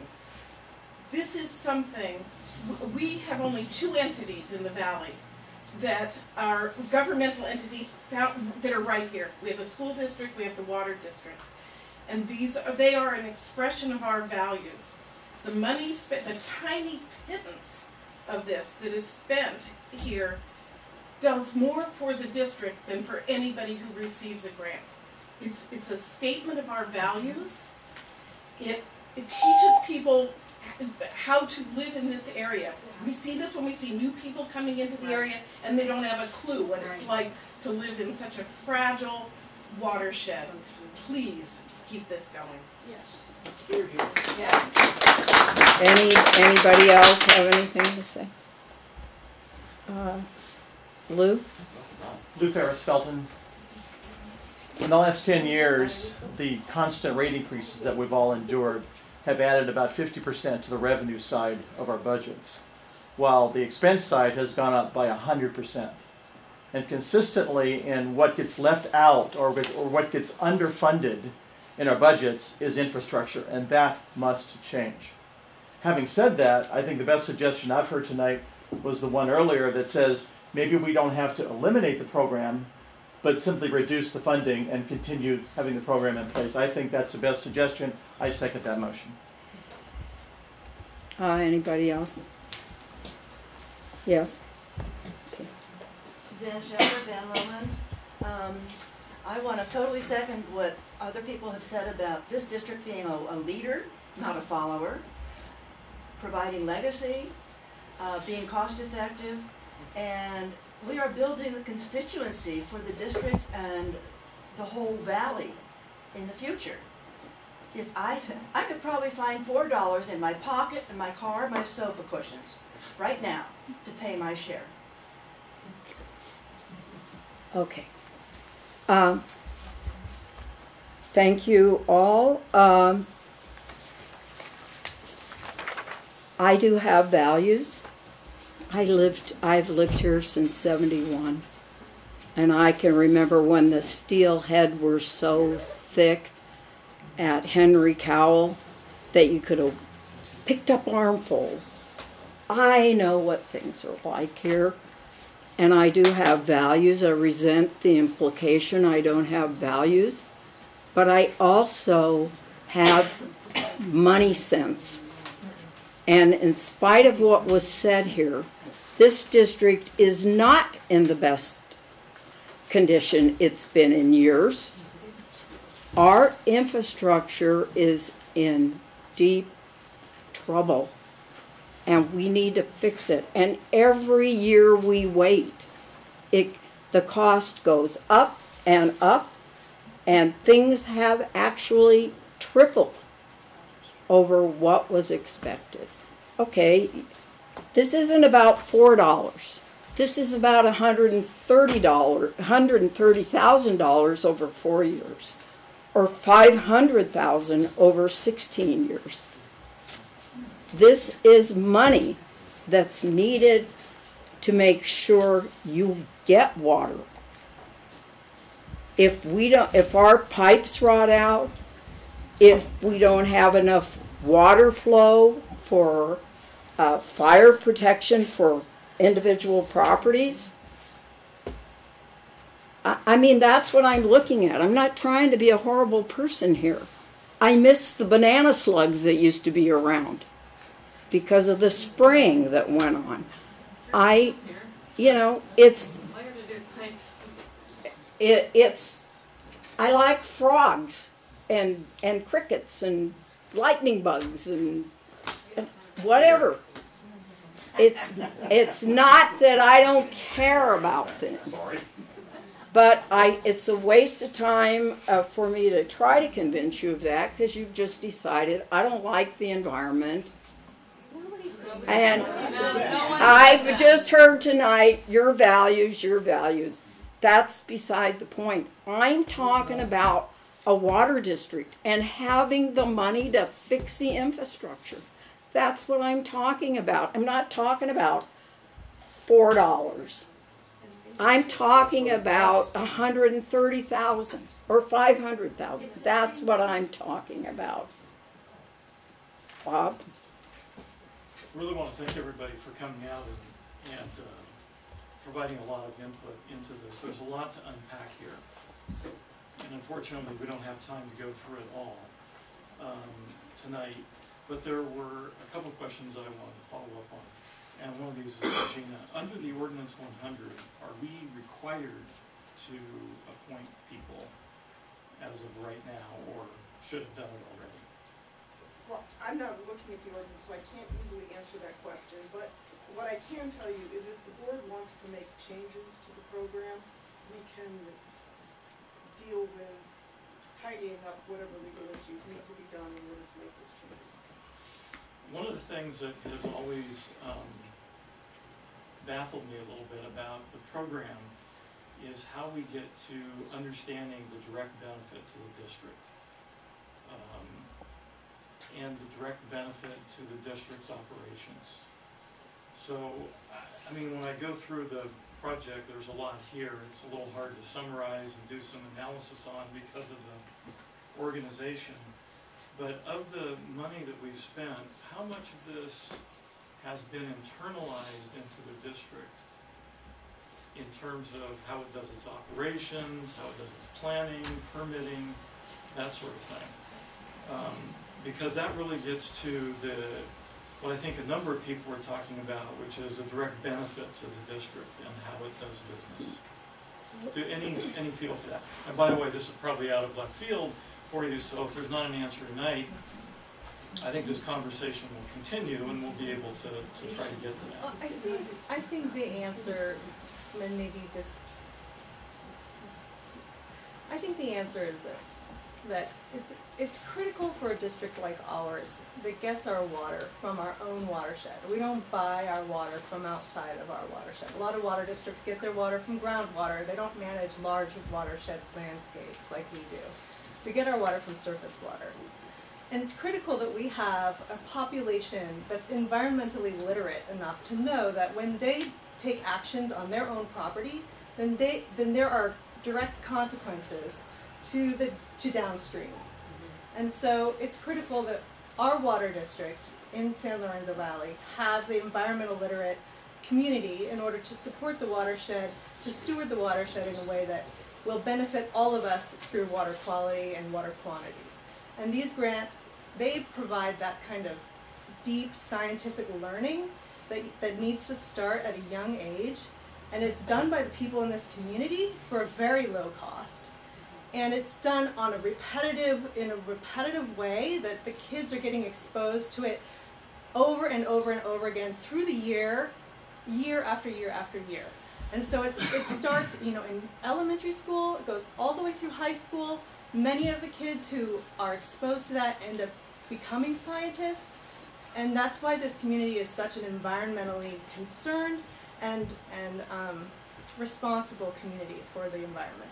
It's not the same in other communities, and I think that, that this that this program has been largely responsible for that. I appreciate the background. It, at some point, I think we do need to get to understanding the direct benefit to, to the district. The San Lorenzo Valley Unified School District is in charge of educating our children. They do a great job. Thank you, Laura. I got a note from Emily, uh, which is great, and congrats to her. Um, what 14 years ago, I think the environmental education in the country, let alone here locally, was very, very different. We have such a broad base of organizations in the district, in the valley, in the county that do this. The question is, where is that best done? So that's one question for me that I wrestle with. ROI is one, that's done. And then the means by which the education is done in 2003, social media and a lot of the, the internet was still fairly young. And a lot of people don't get their information in the same way that they did when these programs were started 15 or 16 years ago. And so as conditions change, how we operate programs, if we're going to operate them, need to change as well. That is, it can't be a continuous inertia-based program, it actually has to be looked at. And so, um, I, I, think that because of all those changes, I, I wrestle with whether or not, for example, um, four-color printing of posters is more effective than um, outreach to the neighborhood groups on Facebook that I know that we do. Um, I scan those religious, and you look at the number of people on them, and it's far exceeds what we would get through mailers or other more traditional and, uh, in my view, expensive ways of trying to communicate. Um, the younger generation is also different in how they get information. It's much more video-based, right, than it used to be. Um, and so programs need to understand and, re and reflect that as well. So um, I think um, that this program, at the very least, and I've, in fact, I think you even have a memo from a couple years ago or so that expressed some concerns about how the program was currently structured. And so at the very least, um, we need to take a hard look at that, particularly in light of the fact that when it comes to spending in this district, everything is going to be under a microscope from my point of view, uh, because we need to direct much more money to the infrastructure than we have been over the last few years. So um, I want to hear what some of the other board members have to say Okay. too, but that's kind of where I'm, where Bill? I'm at. Bill? I'm, I'm concerned that, you know, we're looking at these costs, it's, you know, thirty-two thousand five hundred dollars is a lot for if you're a single one person. And as Barbara Springer said, it, it really is twenty-five cents per water bill, and then I agree with Bruce Holloway, that it- it's probably more than that because we do spend some staff time to the, the the benefits are hard to measure, but I would argue that they're pretty much priceless, you know, if I'm thinking about the young people getting educated in the community and like that. And, um, and my other concern is, um, you know, I, well, you know, ever since I've been on the board, I've offered cost-saving measures that are talking about saving hundreds of thousands of dollars, but they're not, they're, they're sort of subtle, they're not, they're not a direct thirty-two thousand dollars cut off the chart. They're more, one of them is, um, you know, having our own pipeline crew that we've been talking at in the engineering committee with things, because we're getting a lot of contractors making bids, and the market now is so high that the contracts are, they, I mean, they're marking them up right now, I wish I was a contractor right now, I'd make a fortune. That, um, there's some things that people don't like, that, but I think we've been overregulated on some of the, uh, environmental stuff, and we were spending a lot of, of money on, uh, um, abiding with environmental regulations, and this is a tough fight, that aren't really helping the environment at all, and et cetera, et cetera, but there's, my point is, is there's all these other costs where the, the meat and potatoes. Why are we talking about? And when I when I, I said, are you willing to pay four dollars a year? I, I saw just about every darn hand raise their hand up there, and a couple of people said, I wouldn't mind paying you twenty bucks a year, but four dollars, maybe make it eight a year, fifty cents a water bill. Come on, folks, and the the benefits are priceless. So I, I'm, I, you know, I, I, I think the vote's been taken, and if, if this board doesn't just agree to just keep this grant you know, I'm, I'm, you know, I'm, I'm, you know, I'm, you got my position on this, and I'd be up, really upset. But I think, I think that you've been let down because I, that there, it's ninety-five percent. I, I mean, everybody rose, raised their hand, right? Yeah. yeah. So it was four. Well, maybe I was wrong about that eight. How many people on here want to pay eight bucks a year to keep this going? Maybe we should put it on the. Okay, well, it's your money. We election control your money, like the whole and we work for you. Okay. Uh, Well, as Steve? scientific as that was,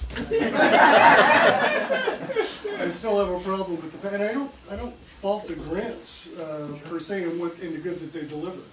What I, what I fault is the fact that, you know, these grants are getting confused with entitlements. You talked about the ability, once you end a program, you can never reserve, bring it back to life. Well, once you start a program, there's no way to uh, limit it. Once the government starts giving out money, it does nothing but grow and grow and grow, and that's what I'm afraid is gonna happen.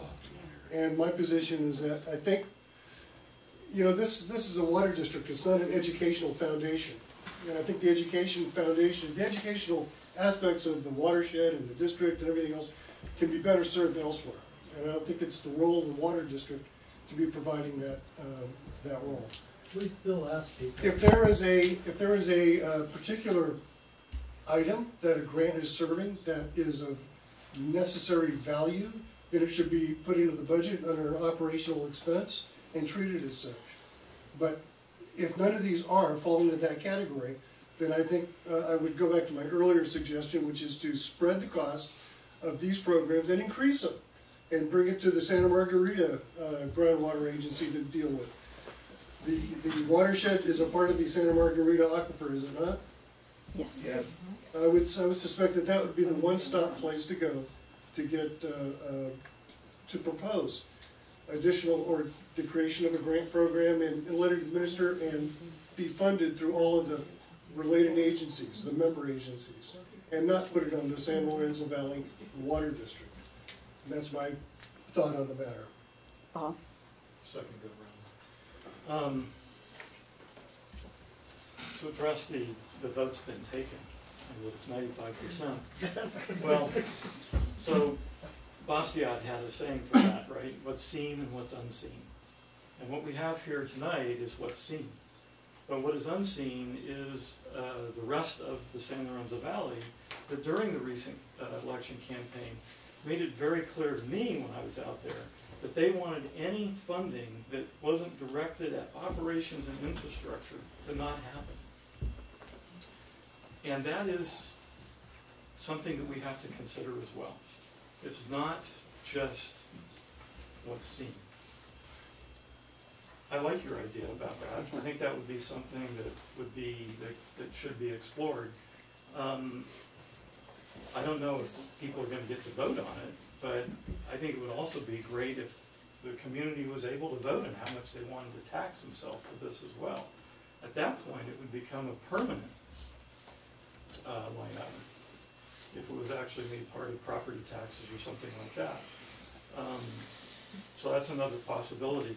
There's a lot of things that could be done, but I think for right now, given that the program, I, I still have to come back to the ROI in the program. If there's not something that is directly benefiting how we are doing operations in the district, I, I have, I, I, we really need to start focusing on that. And maybe that's a conversation that we can have another time, um, down the road. Bill? Oh, just real quick, I respect, I respect your viewpoint a lot, Bob, but, uh, you know, in my, you know, because, well, there, I know that there's, we have engaged public here, but in my heart, everybody that, um, I feel that, th- that this amount of money, that most people that might, I, s- that, that would agree that, um, well, if it's eight dollars a year, that they, they would be more than willing to pitch in that amount, and that's, I'm just, I'm just voting on what I feel, you know, I, and, but the people here, thanks for coming here, because you're part of the, that's what these meetings are for, you know, so we can get public involvement. And I, I, I feel if, if, you know, obviously don't have the time to go door to door and ask everybody, hey, you wanna spend eight dollars a year on, um, education grant money, uh, a year, I feel that I would get eighty percent of the vote, and I win. So, uh, that's, anyway, thank you. Well, uh, sorry. Um, So Lois, are are we, do we need a motion? yeah, we, we need a motion and, um, the, the, you can tell, uh, Bob is the Harvard guy and I'm the emotional person about bugs and fish. But, uh, and about fixing the water district so there's water. If you ever were part of a water district who didn't have water, you might realize how important it is that we have water. So, I'd like to make a motion that we continue the education program for the cost of thirty-two thousand five hundred dollars a year. Is there a second? Not for that. Not for No. Any other motion? I'll make a motion that the watershed and educational grants programs be suspended at this point in time. May I add a, um, This is a race to the bottom, you guys. It's a race to the bottom, what you're doing. Instead of, instead of inspiring the rest of the people around here, you're chasing the lowest common denominator. may I make a suggestion on your motion? Um, Let's do a suspension. Let's send the program review to the environmental committee and the numbers to the budget committee. And through the process of the budget, we'll be able to come up and understand where we are with numbers. So basically, it's a suspension, but until we repeal the ordinance, if we wanted to do that, it's not a permanent Right, it's not permanent. uh, re- repeal. a cop Would that, would that work for you? Sure, it's a cop out. Yeah. Order? You, do you want to repeat that? Uh, Bob, Bob, you made an amendment. Do you want to repeat Well, the amendment would be to suspend the program and send the program to the environmental committee for review and to the budget committee on the numbers. Two readings? Is there a second on that? Second. Just for real clarification, when you say suspend the program, do you mean suspend, um, spending and suspend the appointment of commissioners? Yes. Basically, suspend, where we are right now is where we stay pending the review in environmental and budget. Okay, thank you for the clarification. No problem. So that would be a motion to suspend the program Right. as it stands now, no appointments, no spending, and we send the program review to the environmental committee and the numbers to the budget committee. Did you want to second it or should I? I second it. There you go. Thanks, Lois. Okay. So, uh, Holly, could you call the, Director Swan, Yes. Director Fultz, Yes. Director Smallman, No. President Henry. yes. Terrible. Pass. Terrible. Motion passed. Boo. Terrible. Point of order.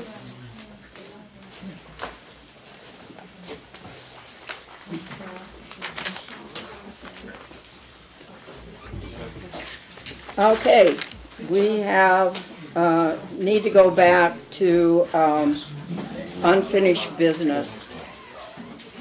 Maybe take a few. You wanna take a five-minute break? Oh, okay, yeah, we'll have a little break. Five minutes? Our admin committee person doesn't like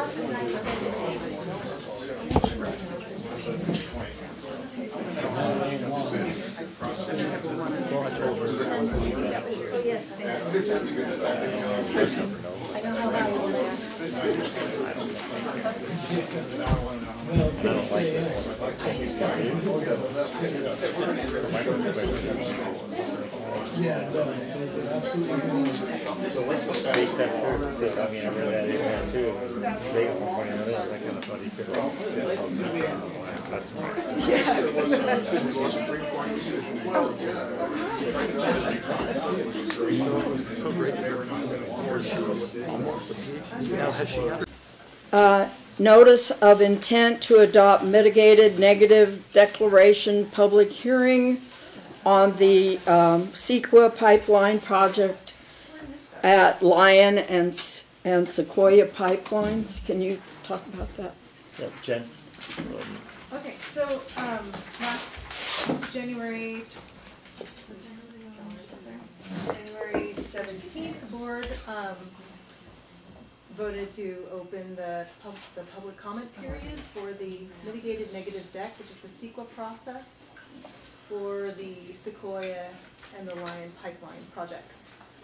That, um, comment period will, will, um, close tonight at the end of the public hearing, so this will be the public hearing portion.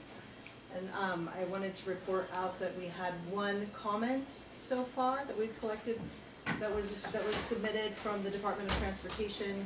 This was not, um, none of the comments really said any, or had any concerns about the environmental concerns. It was mostly um, just standardized Don't we have to language. open the hearing officially? Yes, that does need to be done at some point. Yeah, during at some this point, discussion. okay, so I'm just So, wondering um, if we need to do that at, during the hearing, the Sure. formal hearing. Go ahead. So we need to say we're. Open the public hearing. Oh, we're opening the public hearing for this. Sorry. And so, um, this is standard language about Department of Transportation regulations with regard to easements in the road and having pipelines certain way inside the, working inside the roadway.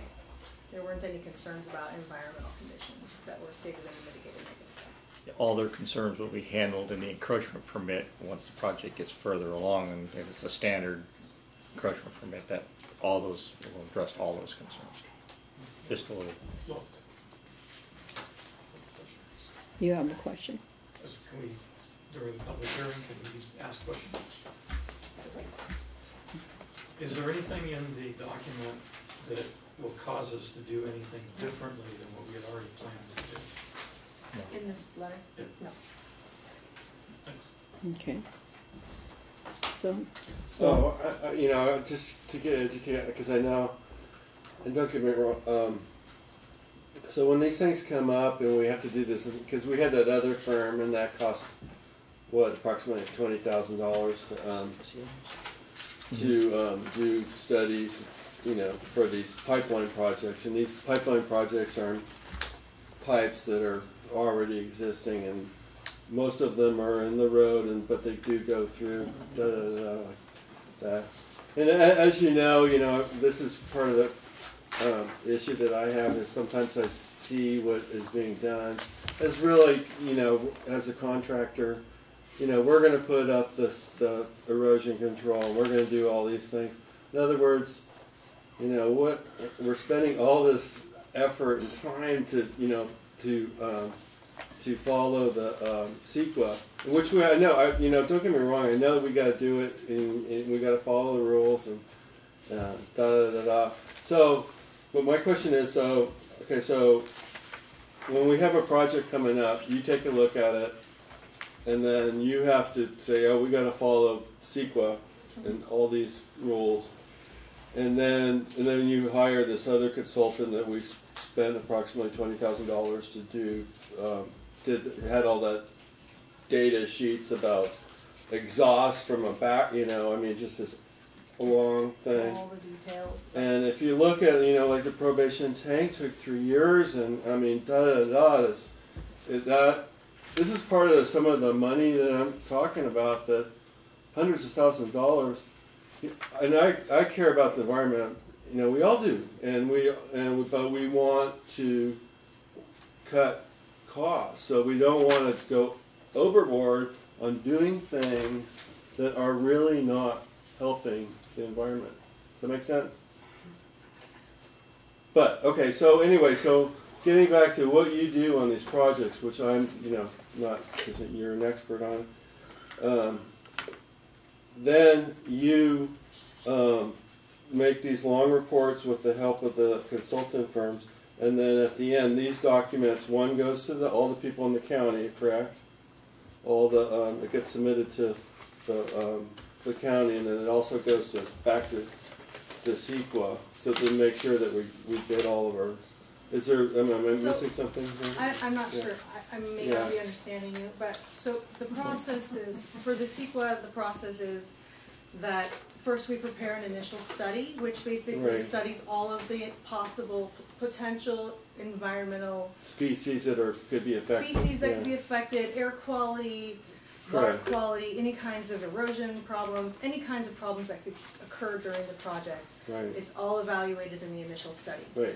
That document gets submitted to the county, and then it's uh, available to the public. So right now, we're in the public the And that's the stage that we're in right now. comment period. So we're in the public comment period. Okay. The district, when we opened the public comment period, at the last board meeting, we sent out all the notification to all the neighbors that are along the pipeline that might be impacted or might, will, will be, you know, some, in some way be aware of the project, so that they would know that the project is moving forward and that we've done this initial study, so they can see exactly what the impacts might be.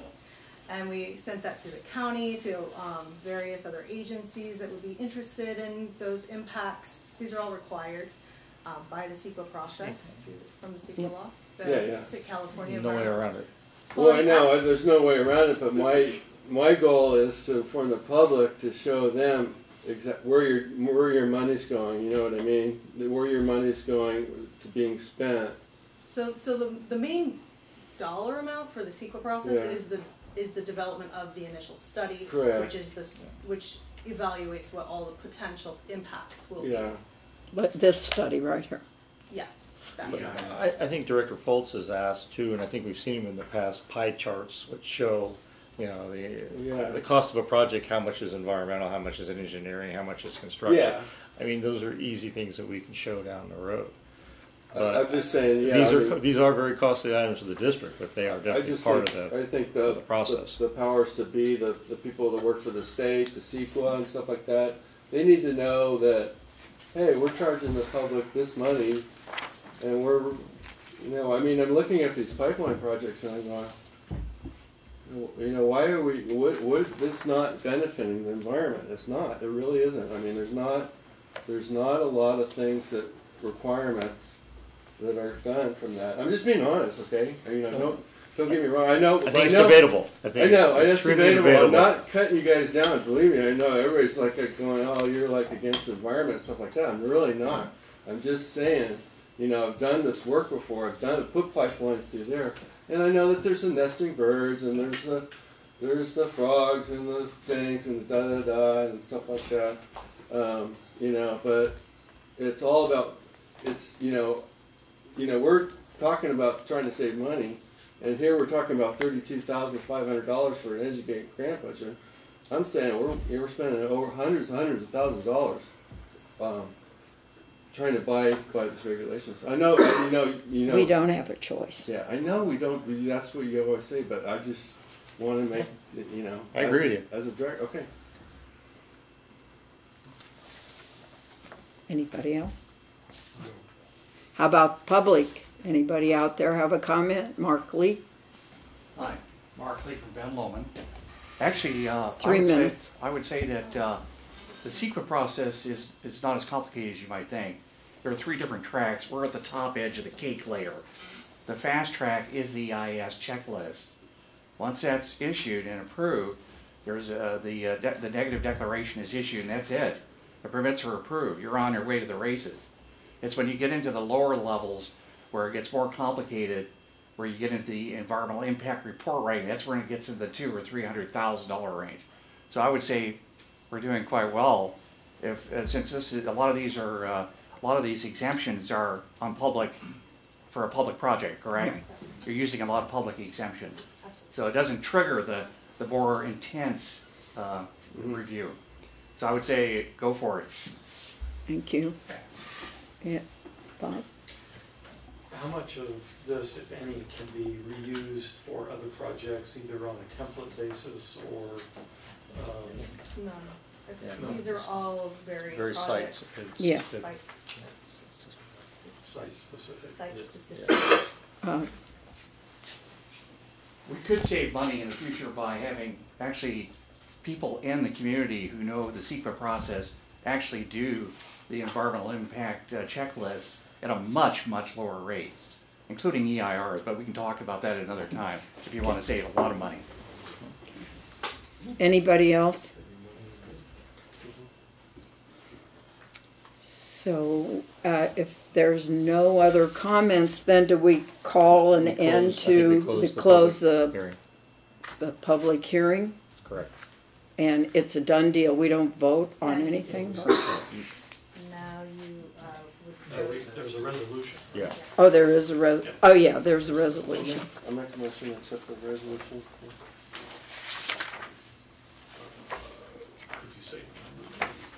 Uh, I'm sorry, could you speak up? I can't hear you. Uh, I'll make a motion to adopt resolution, can somebody give me the number? Twenty-nine, eighteen, ninety. Twenty-nine, eighteen, nineteen. Second? I'll second it. Plus, I said second. I second. Oh, you did, I thought you were asking for a second. Sorry.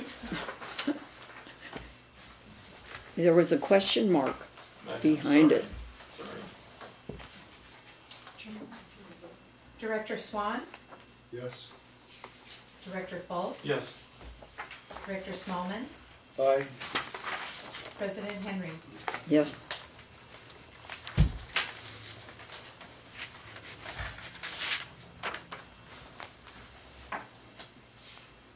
Okay, uh, item B, water availability assessment for San Lorenzo River Watershed Conjunctive Use Plan. And it's my understanding that we're just, uh, saying, yes, we received this plan.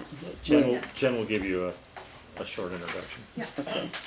Um, so, for those of you who weren't here last week, I talked about this quite in-depth at the, uh, workshops that we did last month, or last board meeting.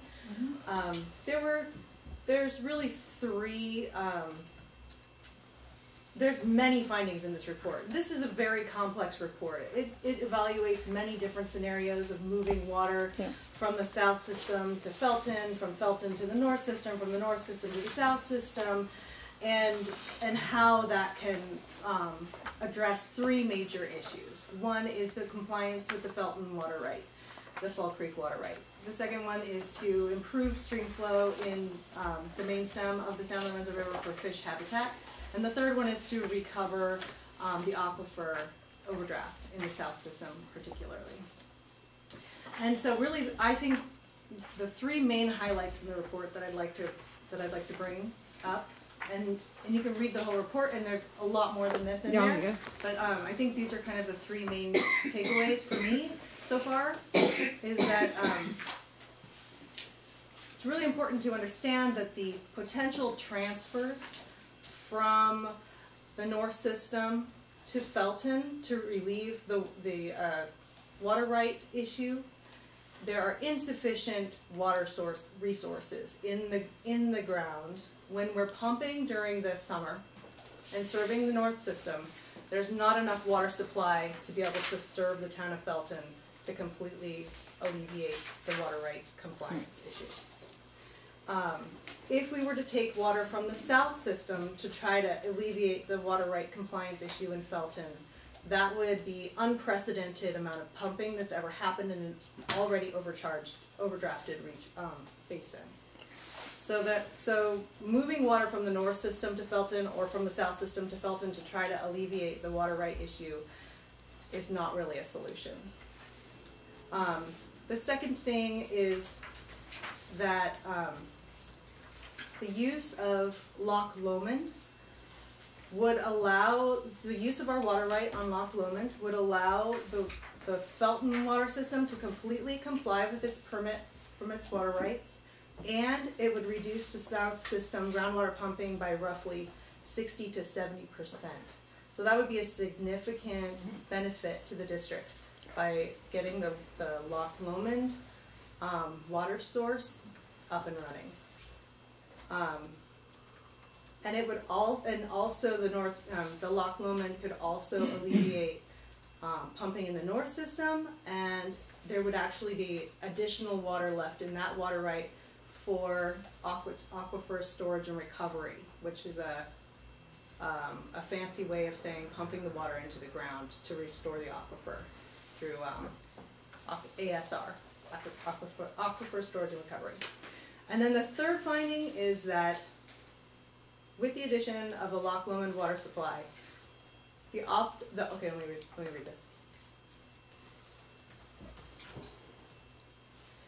this. So, with the addition of the Loch Lomond, we could optimize the use of the North System and the Felton unused potential to restore the aquifer in the south system. So we could also use water from the Felton water system to pump down into the ground. So anyway, the most important part here is that aquif- aquifer storage and recovery is going to be a critical component of, as, as we move forward to manage our water supply sustainably. Okay, I hope that kind of like, this is a very complex report and I just wanted to kind of give you those three main sort of take home messages to think about. Um, and that's what this report was saying. And then I just also wanted to mention that about the match. Um, there's been a lot of confusion about what we've agreed to match for this project. So this grant was a three hundred thousand dollar grant. Um, we agreed to match three hundred thousand dollars, um, an equal amount. Those projects have already been accounted for, and we've already submitted them as grant as match funds. And so those projects include the Intertie project, the the stream flow monitoring that we've been doing, the temperature monitoring, the bowl pipeline replacement project, the fish monitoring program that we've already been doing, and project management. So those are the ma- match funds. They've already been submitted, and that match part is is complete. So we've already. So we should be getting the money we've spent. Yes, and the money that we have also, we, we were administering those contracts for this, um, stream flow, um, for this hydrologic study. We were administering that, the, that contract, so we per, we paid them in advance and then we will get reimbursed for that. So we've already submitted those invoices to the Wildlife Conservation Board, the grant, grantor, and so we should be getting paid back on that Okay. sometime soon. And I kind of had a talk with Rick that it it's totally possible to treat that Loch Lomond water and get it into our system. Now, Of Yes. course, it's going to cost money, Well, but there's, there's infrastructure concerns on all of the scenarios, but But- right. the, the main part you need to start with is the water, and then we look at the infrastructure. Yeah. But yes, we can treat the Loch Lomond water. We will be able to, but we can't treat it today, we don't have infrastructure. right, I know that. I'm just saying that's going to be an additional cost to the infrastructure to treat the Loch Lomond water, and it's going to have to be done. That's a really good point. Can I just finish one, a couple more points that I wanted to make before we? Okay. take- Then I'll take some questions Okay. if you're still curious. Um, and then I just wanted to outline a little bit about the next steps for this process. So the first, this is the first real step, is getting the hydrologic assessment completed. We will, I mean, if you choose to accept this, then we will move forward to the next step, which is to do a fish assessment to see how moving the water that, that was resulting in this study, in this um, hydrologic assessment, how that will impact fish resources. And then that's hundred percent grant funded, we don't have any obligation to spend any money on that, and, and the contract that we've already negotiated with the biologist came in under, um, budget for this line item, so we should be fine. Um, I don't expect the district to pay any money for that. And then, um, and then we'll move forward with, uh, if you choose to move forward with the, with the CEQA process for the intertie to be able to move the water back and forth, if that's something that you choose to do. Which that is a real important, whether we use the Loch Lomond water or not, to be able to freely move water with no environmental restrictions from our north to our south system. We have the infrastructure in place now with the north-south pipeline, but we don't, we need to do the CEQA review. So that's a very important part of this next process, the process coming up. And the funds are, there are funds in the grant for that as well. For so- CEQA? For the CEQA process. Okay, great. That's good news. Is, are you, And so that's all I have, really. okay, Bill? Well, I disagree with you. This this document really isn't complicated for me anyway. It's just, um, but I don't believe that we need we don't need to vote on it. That that's just um, it's basically a study that I don't believe that we need to approve, and um, that sends a that sends a signal of approving this quote unquote conjunctive use plan. No, no. No, we're we don't receiving have a it. plan. It's well, just- I, There is no plan out, I mean, there's. I, I don't. I disagree. I mean, uh, Okay. basically, I don't. I mean, I think it's make doesn't make sense to me at all to approve it at all, and that because the document like simply uh, is a report that promotes a plan. In my opinion, promotes a very ineffective and environmentally helpful means to produce and store water. I'm not sure exactly why the public is being engaged to, to develop the plan. to solve this problem, as it appears the decision has been made. It's being forced upon the public who have no, absolutely no say. Do not be fooled that this report will co- cost two, 285,000 and the 310,000 that came from a grant. The grant money comes from our state taxes. So we basically paid $75 each for this report. If you have any um, alternative ideas, as I do, they will not consider them. I favor the more plans, ideas, the better. And all these ideas should have cost-benefit environmental impact studies done on each. Ultimately, the public will choose which plan, plan that they want to pay for. Otherwise, they will be force their plan upon us, and we must start a protest for a free and open election on the best plan. Again, the plan calls for using 300 acre feet per year out of an extremely marginalized Loch Lomond. Many of you know that Loch Lomond typically closes in a low fall, rainfall year and a year 20 inches or less, followed by years, and then it's closed for five to seven years. It's simply not enough water in that storage.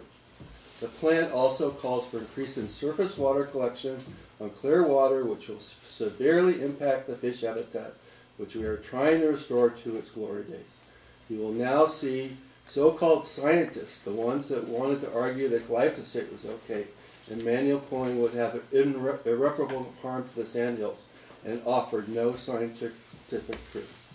Very easy to prove scientific proof that more water means more fish.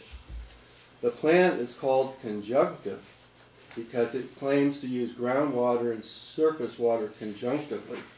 We do that already. All water districts do.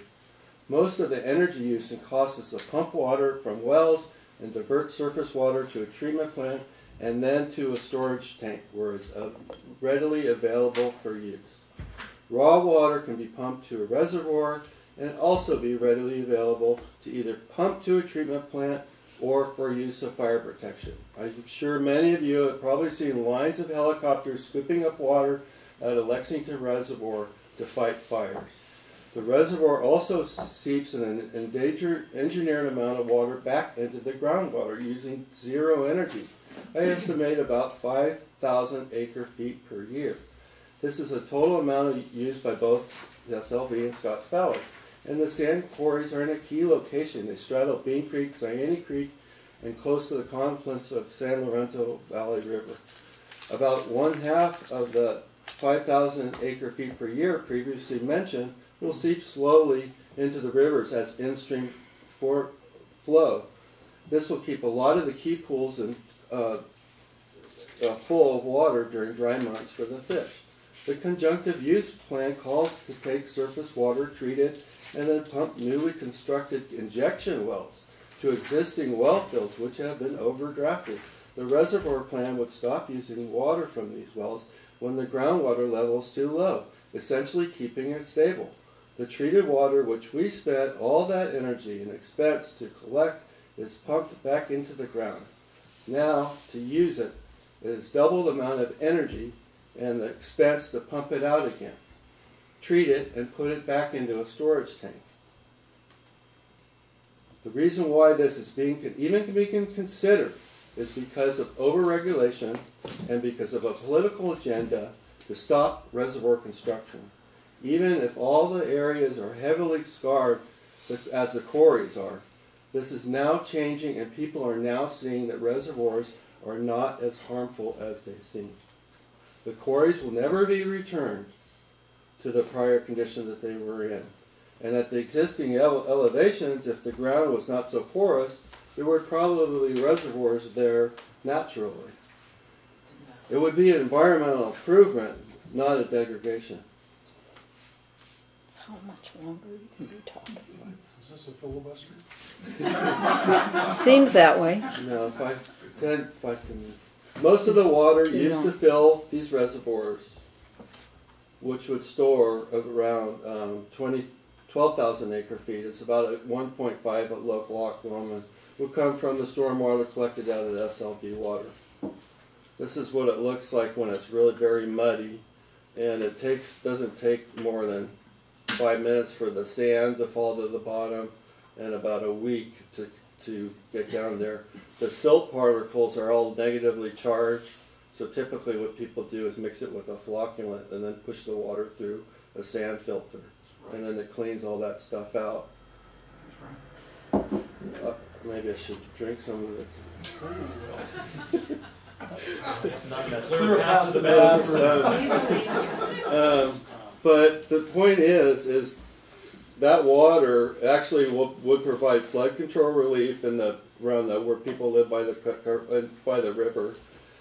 Um, it have absolutely zero impact on the fish habitat because um, at times there's about seven thousand cubic feet per second coming down the river, and the fish aren't swimming in the river during those times at all. So it's zero impact on the fish impact, whereas the, your your conjunctive use plan does has big impacts. So it's very easy to divert about 1,000 cubic feet per second, and that's about 1.4 acre acre feet per minute. It's an engineering challenge, I admit, and, and possibly a quite costly one, to divert this water to the reservoirs. And one thought is to construct a large concrete cooling tank, which is, would dual as a treatment plant um, at the uh, lumber yard, and then pump the water up in a 36 inch diameter pipeline to the reservoirs.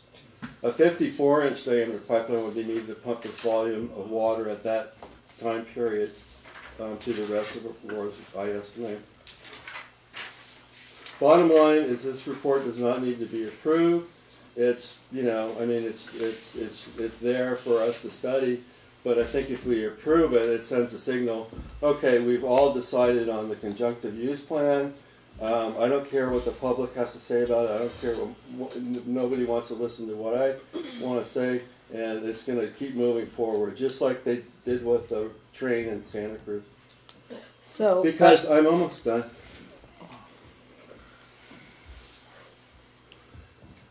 Um, it, it, it, it's, it promotes an ineffective plan, and by vote, voting to approve this, misinforms the public that this is the only plan, and we are approved moving forward with it.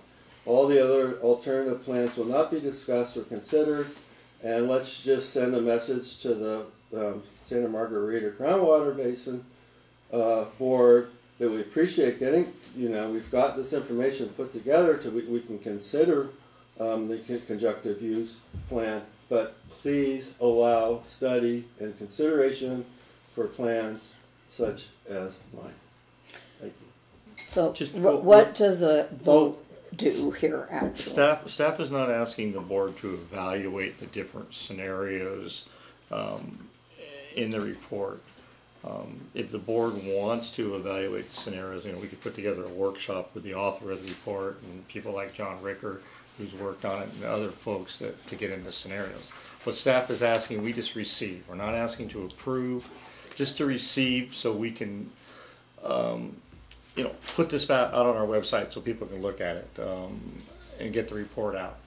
Uh, we're not taking any action to approve any one scenario. This is just, uh, most of these are existing scenarios that exist or could exist in the operations of our water system uh, with, you know, Loch Lomond water and our surface water and our well water. It's an evaluation of our system.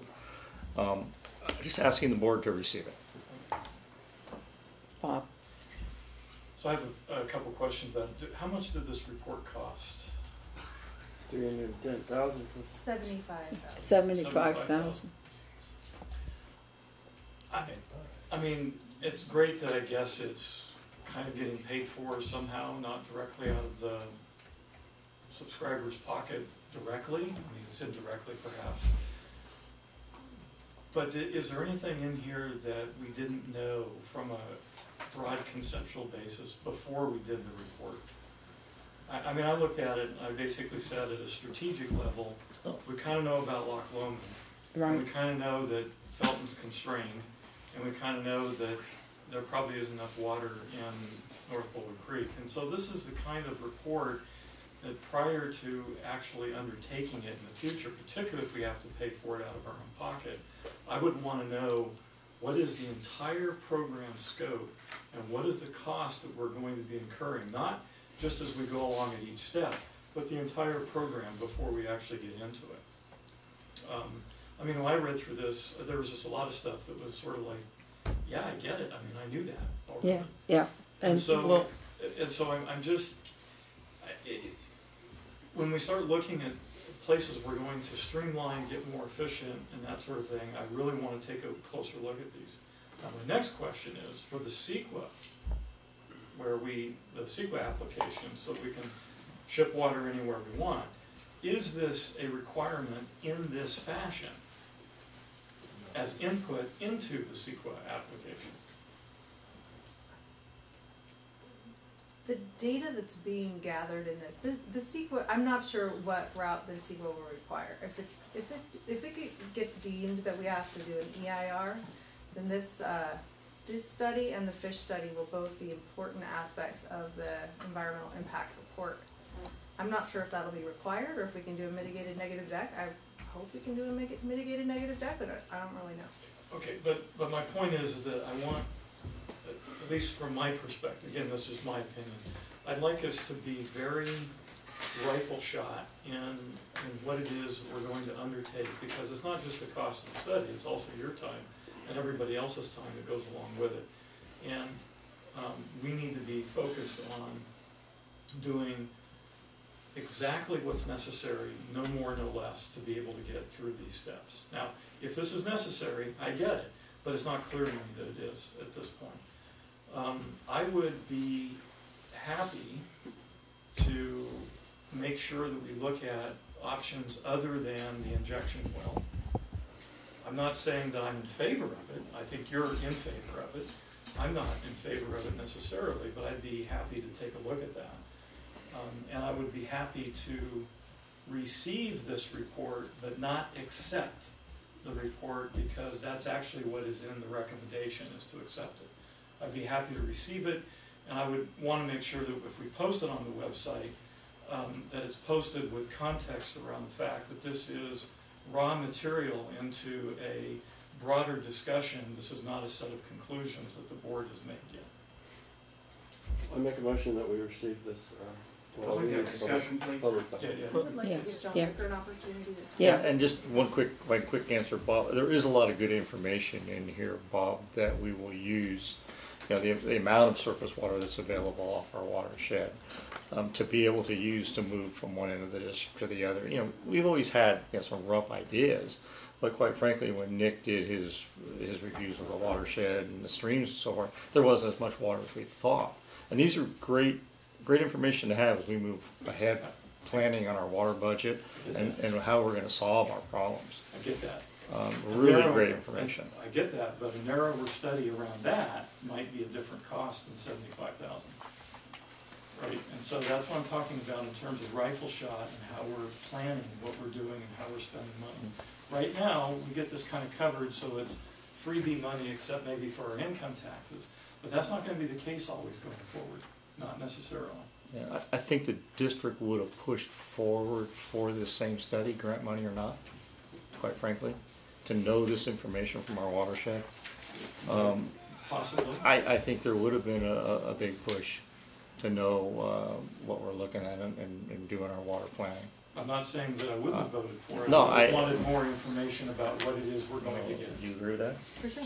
Um, And I think this information that will be used, will be used when we do all of our planning with the state regulatory agencies on our, our, our uh, extractions from the different streams and the amount, I mean, this is all information that, yeah, we probably, you know, we had a great idea, but until you had it down in this report, done in this manner.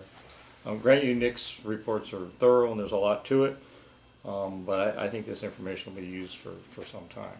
Well, I'm looking forward to seeing that over and over again. Okay. All righty, how about the public? Any comments out there? Uh, Bruce? Um, I have not read the report, so I wasn't aware of what, what really was here. And it sounds pretty interesting. Um, It's on the website.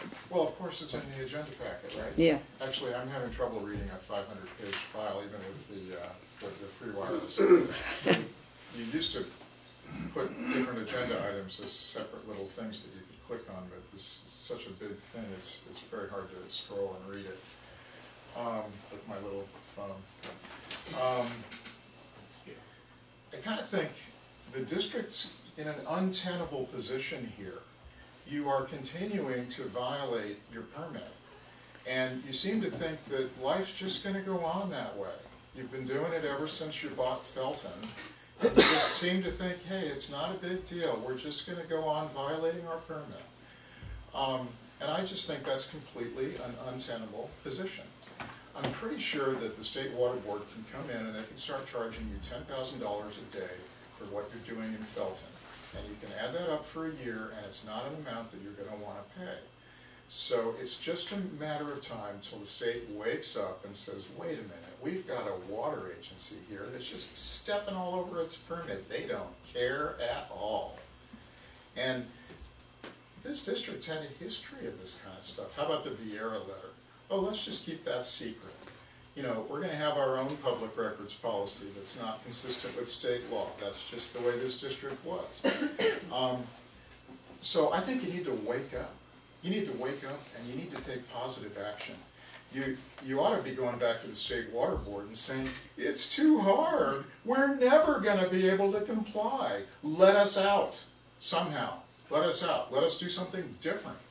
Um, what I remember from reading that, uh, that uh, there was a 10-year process that led to those water rights. And, you know, the city of Santa Cruz, the county of Santa Cruz were heavily involved back in the 1970s. Um, you know, you're just not honoring the process.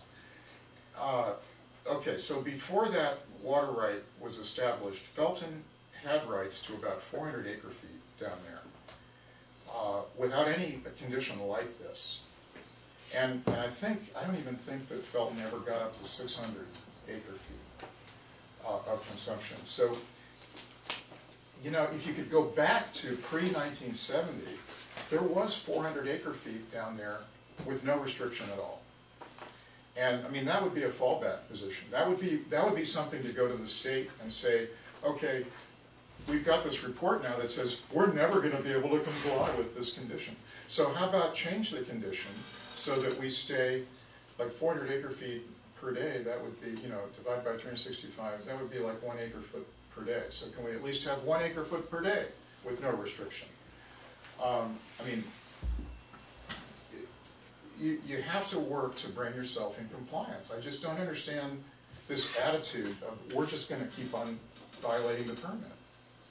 It, I, I just don't understand this point of view. You know, if you had a truck that was not complying with the vehicle code, and I saw it driving down the highway every day, and I know it's not complying with the vehicle code, and I bring it up again and again, and you just say, shucks, I don't know what to do, you know?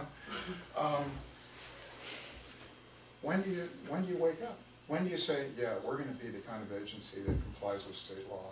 We're not gonna just walk all over this permit. We're not gonna go give lip service to protecting fish while we know we're violating our permit.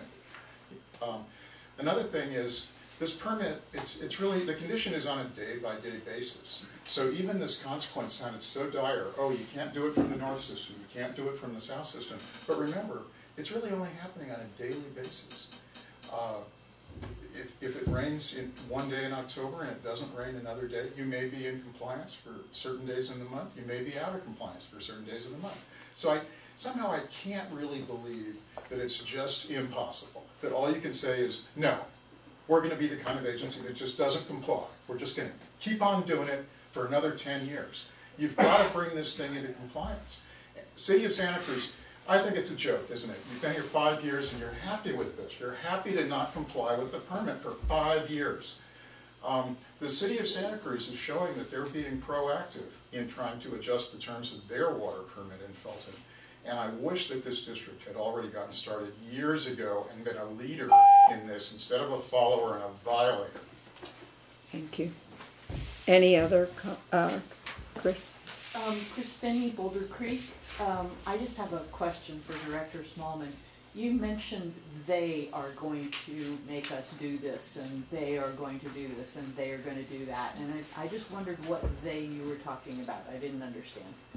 Um, it's basically the, the state and the, um, all the work that we've done, we've, we, we, we, well, we, we're- spent, what, seventy-five thousand dollars for this plan. And then we've had all those out, you know, we, there's this one more meeting at the community hall. But what, what my, what I envision is that if anybody in the public wants to say, hey, like me, why, why are we looking at, I'm not saying my reservoir idea is the, you know, gonna win, but it's not, it's not getting considered. And then maybe there's some other people that have other ideas, and I was just pointing out that this ASR is, quite frankly, it's, you know, as a civil engineer, it's idiotic. It's, you know, where you're gonna use twice as much energy, and then we're, I, well, what I, you know, had that long speech about how I think that my feelings is that it's gonna affect the fish habitat. And I basically think that building reservoirs, although I know that a lot of people don't wanna do that, I, I just think it's a better plan, and I think it deserves being heard. So. I don't, you know, I, I'm still the not they, clear. the they, the they They is, is the the they is the political, is Okay. everybody, it's the, it's the, it's the Santa Mar, it's the, it's, uh, everybody that's involved, um, with making these decisions. It's the political body of the, the Santa Margarita Groundwater Management Agency. Oh, okay, basically. thank you. Uh, John, you wanted to say something? Yeah, I wanted to say a couple of things. And one thing, just to respond to Mr. Holloway, the, the district inherited that problem at Felton, and the district, I think, has really been trying to address that. This, this study, this, this project is one of those efforts to try to figure out a way to solve that. I mean, the district has not just been sitting back. Um, they're working on the fish ladder, restoring the fish ladder. The state knows that the district's in violation of that, and the state knows that the district is taking proactive measures to try to address all of their diversions, including the Felton diversion, and to, to minimize the impact of that. This, this grant was a grant that came to the district and to the county to actually increase stream flows and increase fish habitat. It's a stream flow enhancement grant from the State Wildlife Conservation Board. We looked at it a way to, also answer questions for the district in terms of long-term supply reliability, both reliability and fish habitat. Try to, try to maximize both of those. Um, The report that's before you tonight is one part of that, it's a very key part of it, I think Rick really hit the nail on the head. This is good quantitative information on what might work and what might not work. It lets you know where you've got water and where you don't have water, and places where you can put it and where you, where it really doesn't do you any good. So there aren't, there's not a plan in this document, there's an analysis of, of different scenarios and whether those would work and whether they would accomplish the goals or not. So it gives you sort of a information to go forward, but it doesn't tell you what to do.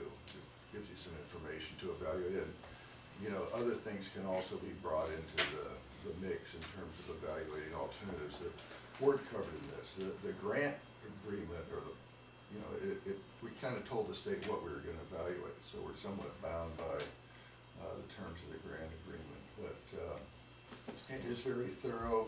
It lets us know that some things we thought might work probably won't do what we hoped they would do, and other things maybe, you know, they probably will. So, uh, it lays the groundwork for moving forward and to do the environmental work and also to talk with the state resource agencies about what it's gonna take to be able to move water back and forth through the, through the interties as needed to help give your system more resilience and also hopefully benefit, excuse me, benefit the fish at the same time. Okay, thank you. Uh, De- you, Markley? Uh, hi, Mark Cleveland, Ben Lomond. I've read the report several times. Uh, I am very disappointed. The report is very spacious. The data collection is good. It only goes back to 1970. So we have some generalization, general summaries of data that are, if you look at the report, actually on page 55, if everyone will turn to that page, the limitations John has laid out here, he says we can't rely on this data. This data has been uh, essentially estimated. We have, uh, he has limitations he's de- declaring. Should not be used for evaluating his synthesized monthly records of water supply, are used to have limited precision, and should not be used to evaluate compliance with regulatory water rights and habitat requirements. He goes on to further say the alternatives are evaluated under optimal hypothetical conditions with full regard for infrastructure and operational limitations, whatever that means, and like such likely overestimates the potential yields. Go to page 55. The yield, uh, he goes on to say, actual yield of the existing future infrastructures will depend on numerous factors beyond the scope of this analysis. This is a very vague report. I don't, I, I wouldn't even pay a dime for this. The data is good, fine, but we wasted a lot of money here. He says the approach, he goes on to say the report, uh, report, the approach used to evaluate and compare conjunctive use and alternatives does not consider this effect on stream diversions. What is the report for? Or groundwater pumping other than San Lorenzo Valley Water District? What is the report for? Beyond the simplified approach used by this study, evaluating the effects of groundwater pumping on stream water requires use of calibrated numerical groundwater flow models. Fine, which on the outside of the scope, which is outside the scope of this study. The conjunctive use alternatives are evaluated and compared to the basis of 1970 to 2070. That's 37 years roughly, not 48. The climate period, which was considered climate. So I looked at the data, and we're looking at a, a, a drought occurring about every five and a half to six years. Out of 48 years cited in here, we only had 10 years of drought. So I think this is manufactured. I agree with uh, Bill Smallman's assessment that ASR is a waste of money, and everyone better wake up to the fact you're putting money, you're putting water into a ground well that's going to sandstone, that's going to be sucked up, and somehow miraculously it's going to drain back into the water system. It has never been proven. UC Davis, where I attended, groundwater injection systems are still hypothetical. They're still experimental. It's a lot of money to be spending. I think we ought to say, okay, we'll accept this report, but but we need to go back to the we need to go back to the engineering and environmental group and, uh, and particularly the budget group to determine the true cost of what this the implications are of this. Thank you. Thank I would you. reject this report. Yes. I just have a question. Um, when was this project started? We got the grant, I believe, it, it, when did we apply for the grant? I think we applied for the grant in August of two thousand and sixteen or something. It didn't get, uh, like, awarded until early, mid, like, spring of two thousand seventeen, and then it didn't get initiated, like, the grant funds kind of started around August of two thousand seventeen. And then we started an RFP process to hire the consultants to do these analyses, the hydrologic assessment and the fish assessment, so those were done in two thousand eighteen. So it's been a process. Okay. So, uh, can we just, Yeah. oh, who, Yeah, who, ver- very short, Deborah, and, and Oh. I'm glad Mark brought this up because I was gonna mention it, but you said it so much better, and I'll just say, you know, I, I read through the report, I, I realized that it's quite a lot of data, it's data collection, and I realized what Rick said, that's valuable stuff. But I got stuck on that same phrase, this is a high-level view, overview that cannot be used for planning. What the heck are we doing with it then? Totally, You know? you know, And- 78 dollars later. And that this needs a more focused study, to me that says, we're gonna need to put more money into this, and probably a lot more money, because this report is only just skimming the surface. It's a skimmer. And, um, I was not impressed with it, and I, I, I would like it explained to me what value this had besides just collecting all the data that a lot of it the district already had, that was collected in one spot by somebody. What, what value is it? okay, is, uh, Well, it, it's a, essentially a feasibility study of a range of alternatives. That's pretty standard disclaimer language from most consultants. What you then do is when, based on that, you get a sense of what's most likely to succeed, and then you can do your more detailed work. You don't do the detailed work on everything possible, but you narrow it down to what's the most feasible, and that's where you do your more detailed, uh, planning assessment. I, I, I give you a little shot at it again, but don't make it very long. Once again, the alternatives that John, this- Mr. Richter is referring to, the first three seem to be reasonable. The last one is the one I'm having difficulty. We're talking about using injection wells. It doesn't work, particularly in the sandstone. I'm telling you, they're doing it down in Soquel, and it's gonna be two million dollars wasted. It doesn't work. Okay, we need to include in the alternatives the use of reservoirs in the quarries. That is Okay. missing from this report. Thank you. Uh, uh, So, so uh, what do we need to do to accept this, I make a motion that we receive, to receive this? that we receive, uh, this report, which is the final water availability assessment for conjunctive use plan for the San Lorenzo Valley Water District. And if it is posted on the website, I would like it posted with Reservations. context that says this does not reflect a final decision on the part of the board. Okay. Is there a Just second? don't go on. Yeah. Sorry, is there a second, or are we? No. Yeah, is there a Well, this- second? The the report. We got a second. Again, the report is, again, it's really not that complicated. It's collecting more surface water from clear streams. It's ASR, which you're against, and using wa- three hundred acre feet a year out of Loch Lomond. Again, Which I'm, and that's it. They're gonna, somehow there's gonna, you can, from this data, pick and choose, you know, because the surface water all comes from all different locations. It doesn't consider anything to do with my plan about building Okay. residential. That's. We got a motion and a second, so, So I don't think it needs to be voted on. yeah, it just is, we're receiving it. Director Swan, Yes. Director Fultz, yes. Director Smallman, No. President Henry. Yes.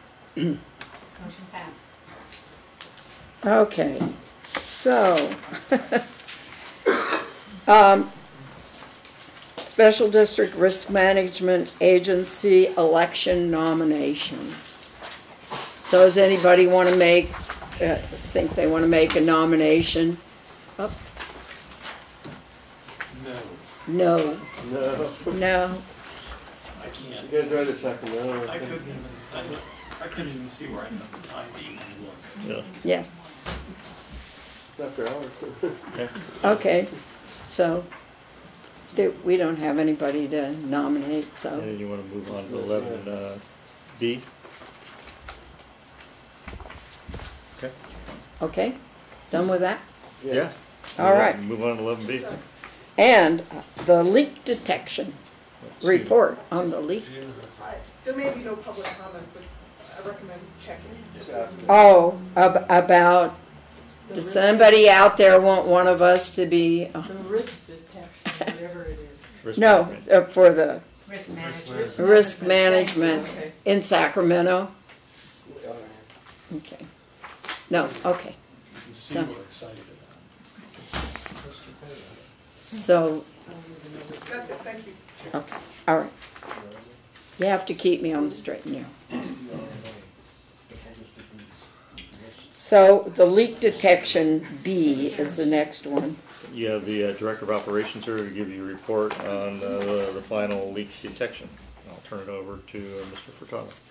Uh, This memo is for the board of directors to accept, accept the final report for leak detection project at the San Lorenzo Valley Water District. Um, we conducted in October and November of 2018 two-week blocks of time to do the leak detection project with Utility Services Associates out of Seattle, Washington. Um, we were able to get hundred plus or minus miles of pipe done. Um, it was broken down into two phases, which was a survey phase where we went out and correlated to listen for noises on the pipes and meters and hydrants and everything else. And then after we detected the noises and everything, we went back and it's a pinpointing phase where they do a correlation and it tells you exactly or close to exactly where the leak is on the pipe. Um, after pinpointing district staff returned and facilitated repairs, it has been found that the gallons per minute were estimated a little higher than actually measured, measured on most of the leaks. And the number of leaks was slightly lower, which is understandable. Some of the noise and stuff comes from um, water being used at the time of leak detection, and they will pick that up as a leak in the system, and we go back and there's no noise at that time, and there's no leak where it's been dug up. Um, at this time, thirty-two of the forty leaks have been repaired. The major ones have been repaired. The ones that are still going are some smaller ones. And we do have many leaks that still get called in that we have to respond to that are more of a priority than these last few that we have. Um, it was estimated at 128 gallons a minute is what was coming from these leaks. Thus far, out of the 32 leaks, it's been determined that it's right around 63 gallons a minute for the ones that have been repaired, which has the potential of 32 million gallons of water a year, which breaks down to 2 million, 2.7 million gallons a month, and 89,000 gallons per day. Um, this equals to about 4.72% of the water produced in 2018 by the district in whole. Um, and the district, it costs the district around, right around twenty-five thousand dollars to do this leak detection. And it is recommended by the state that we do it every three to five years. Any questions? And you, So how many gallons a year do we produce? About, In two thousand eighteen, we produced almost seven hundred million gallons. So basically it looked like the thirty-two million was just under what we sold last month. Yes. Roughly, I think it was thirty-seven. It's pretty or something close, like that. So basically, and how many miles of pipe in, the- or how many miles of pipe in the system total? Uh, about hundred and ninety miles of pipe. That includes intakes, other, other things, and then, A uh, lot of line, above ground above ground stuff stuff that was not leak detected. Is there any reason why we wouldn't wanna do, I mean, given, I mean, this is significant, this is a huge amount of water. that Yeah. Actually would direct, would e- would directly benefit the aquifer during the summer months if the leaks were going on. I mean, that is a, I mean, you talk about a ASR, that is an ASR that we would Yeah. actually have to pull out. Um, why would we not do the other rest of the system next year? Uh, there's no reason why we wouldn't. A lot of the pipeline that wasn't done, which is miles and miles of pipe, which is above ground, that we inspect with our own crews going into intakes and going into above ground facilities that we have. And so it's inspected, So and those are gonna be visible. The majority of the leaks found in this leak detection process are leaks that are not surfacing, period. Right, understand. So the ninety miles we didn't survey, that's all above ground? Not all, but the majority. So valves, are, are these numbers, um, eight hundred and thirty-one valves were leaking, or is No, that we're just? detected. We're listened to. So they went out there and listened to. Oh, oh, That's okay. how many valves they went and listened to. Then that, then the other number is how many services they went and listened to, how many meters they went and listened to. Right, so, like hydrants, did you find hydrants were leaking? We did have a few, and it'll be on the run of the hydrant or at the bottom of the hydrant, not the actual. Okay. There are some that drip from the. Keep in mind, most of these were underground subsurface where you couldn't see. Right. And there's, there's equal amount of leaks that we repair above ground, I mean, that we get calls in. So this is just a partial number of our actual, uh, water Leaks. loss through leaks And per one, year. one last question, did we uh, geocode uh, the leaks, and are we putting that into a heat map for uh, Lo- location? our GIS system is not there yet to do so. We're getting there. So, We did put them on the board here. So all the pink ones were from the four years ago when we did leak detection the first time. The new purple ones that are on the board now are the ones that were found this year. So it is being kept as a record, and it will be being put into the GIS. Both reports will be put into the GIS mapping once the GIS is to that point. do we keep a similar thing like this for the leaks that you do that are above ground that you detect that happen? What, what I'm looking for. There is an Excel spreadsheet of all those that will be put on a heat map once the GIS system is to that point. So you know where I'm going. I mean, Yes. for example, I I look up understand. there, and I can see that area right there is in serious need of pipe replacement, Correct. right? So with being able to put all the leaks on a heat map, we can basically be targeting where to send the pipe crew that we want to get spun up. And, and basically, it's all the four inch, all the four inch and, and smaller. It's the original Yeah. system that's you know Well, close to over hundred years But old. There's a lot of it that's a Yeah. six inch AC too, though. Yeah, we have so too. much We have some AC pipe in our system, then it's not good pipe. But anyway, that's, I mean, you know where I want to go. No, I totally Yeah, understand. 100%. We're with you on that hundred percent. Yeah. Bill? Oh, well, yeah, like I said, it's five percent, a lot of water, and I wish this technology was back, you know, when I was installing leaking pipelines to find, and, um, you know, it's amazing. And it's, it's just, it's, oh my gosh, it's my, and this is a good example, um, because, yeah, those leaky pipelines, that's what they're doing, they're performing ASR. They're basically leaking water back into the water, That into is- the groundwater basin. that's very And that's true, my but it's whole water that point would about cost- that why costs us money to ASR is, is for the Yeah. birds, you know, it's, it's a waste of money, it's a waste of time. To have pot, to treat and have potable water and put it back into the ground through leaks. And now we wanna, now we actually wanna build wells to do the same exact thing. Makes no sense. The, uh, the report that was done, or the, the leak detection that was done four years ago, how does that compare to this current one? At that time, it was ten percent of the water produced that year. Is what Oh, we a found. lot more. Yeah, so we, it's been cut in half. But keep in mind too, that was the first time Right. we did uh, the subsurface leak detection um, years back, and this is our second time. So it was a substantial amount of subsurface leaks back then that we knew that we had just from our, you know, a monthly accounting. That was our first time, and it proved to be, you know, I think it's like hundred and something, hundred and fifteen gallons per minute or better. Yeah, it was over a hundred, it was yeah. over a hundred leaks the first time. So, so the ninety miles of pipe remaining, if you were to remove the stuff that's above ground that you currently can monitor yourself, how many miles of pipe is left underground that might be leaking or could benefit by having another leak test done sooner rather than four or five years from now? I'd have to look further into that to get you that number. But it was all mapped out and highlighted on a map that what they did, so I could come up with the rest of it. We'll trade the leak detection for uh, ASR. um, Yeah. asset. And, you know, it, it is a, you know, Grant, Grant County County for water or water leaking is a, is a great expense to the district, you know, in all aspects, there's no doubt about it. And this is a substantial time it takes, so once we do get up on these leak crews and we do start replacing the pipe, well, it- there's a substantial savings. Well, this is a huge Not just in the Yeah. construction costs, Yeah. but in leaky water, leak detection, and all the different aspects that go with it, cost of chemicals, pumping.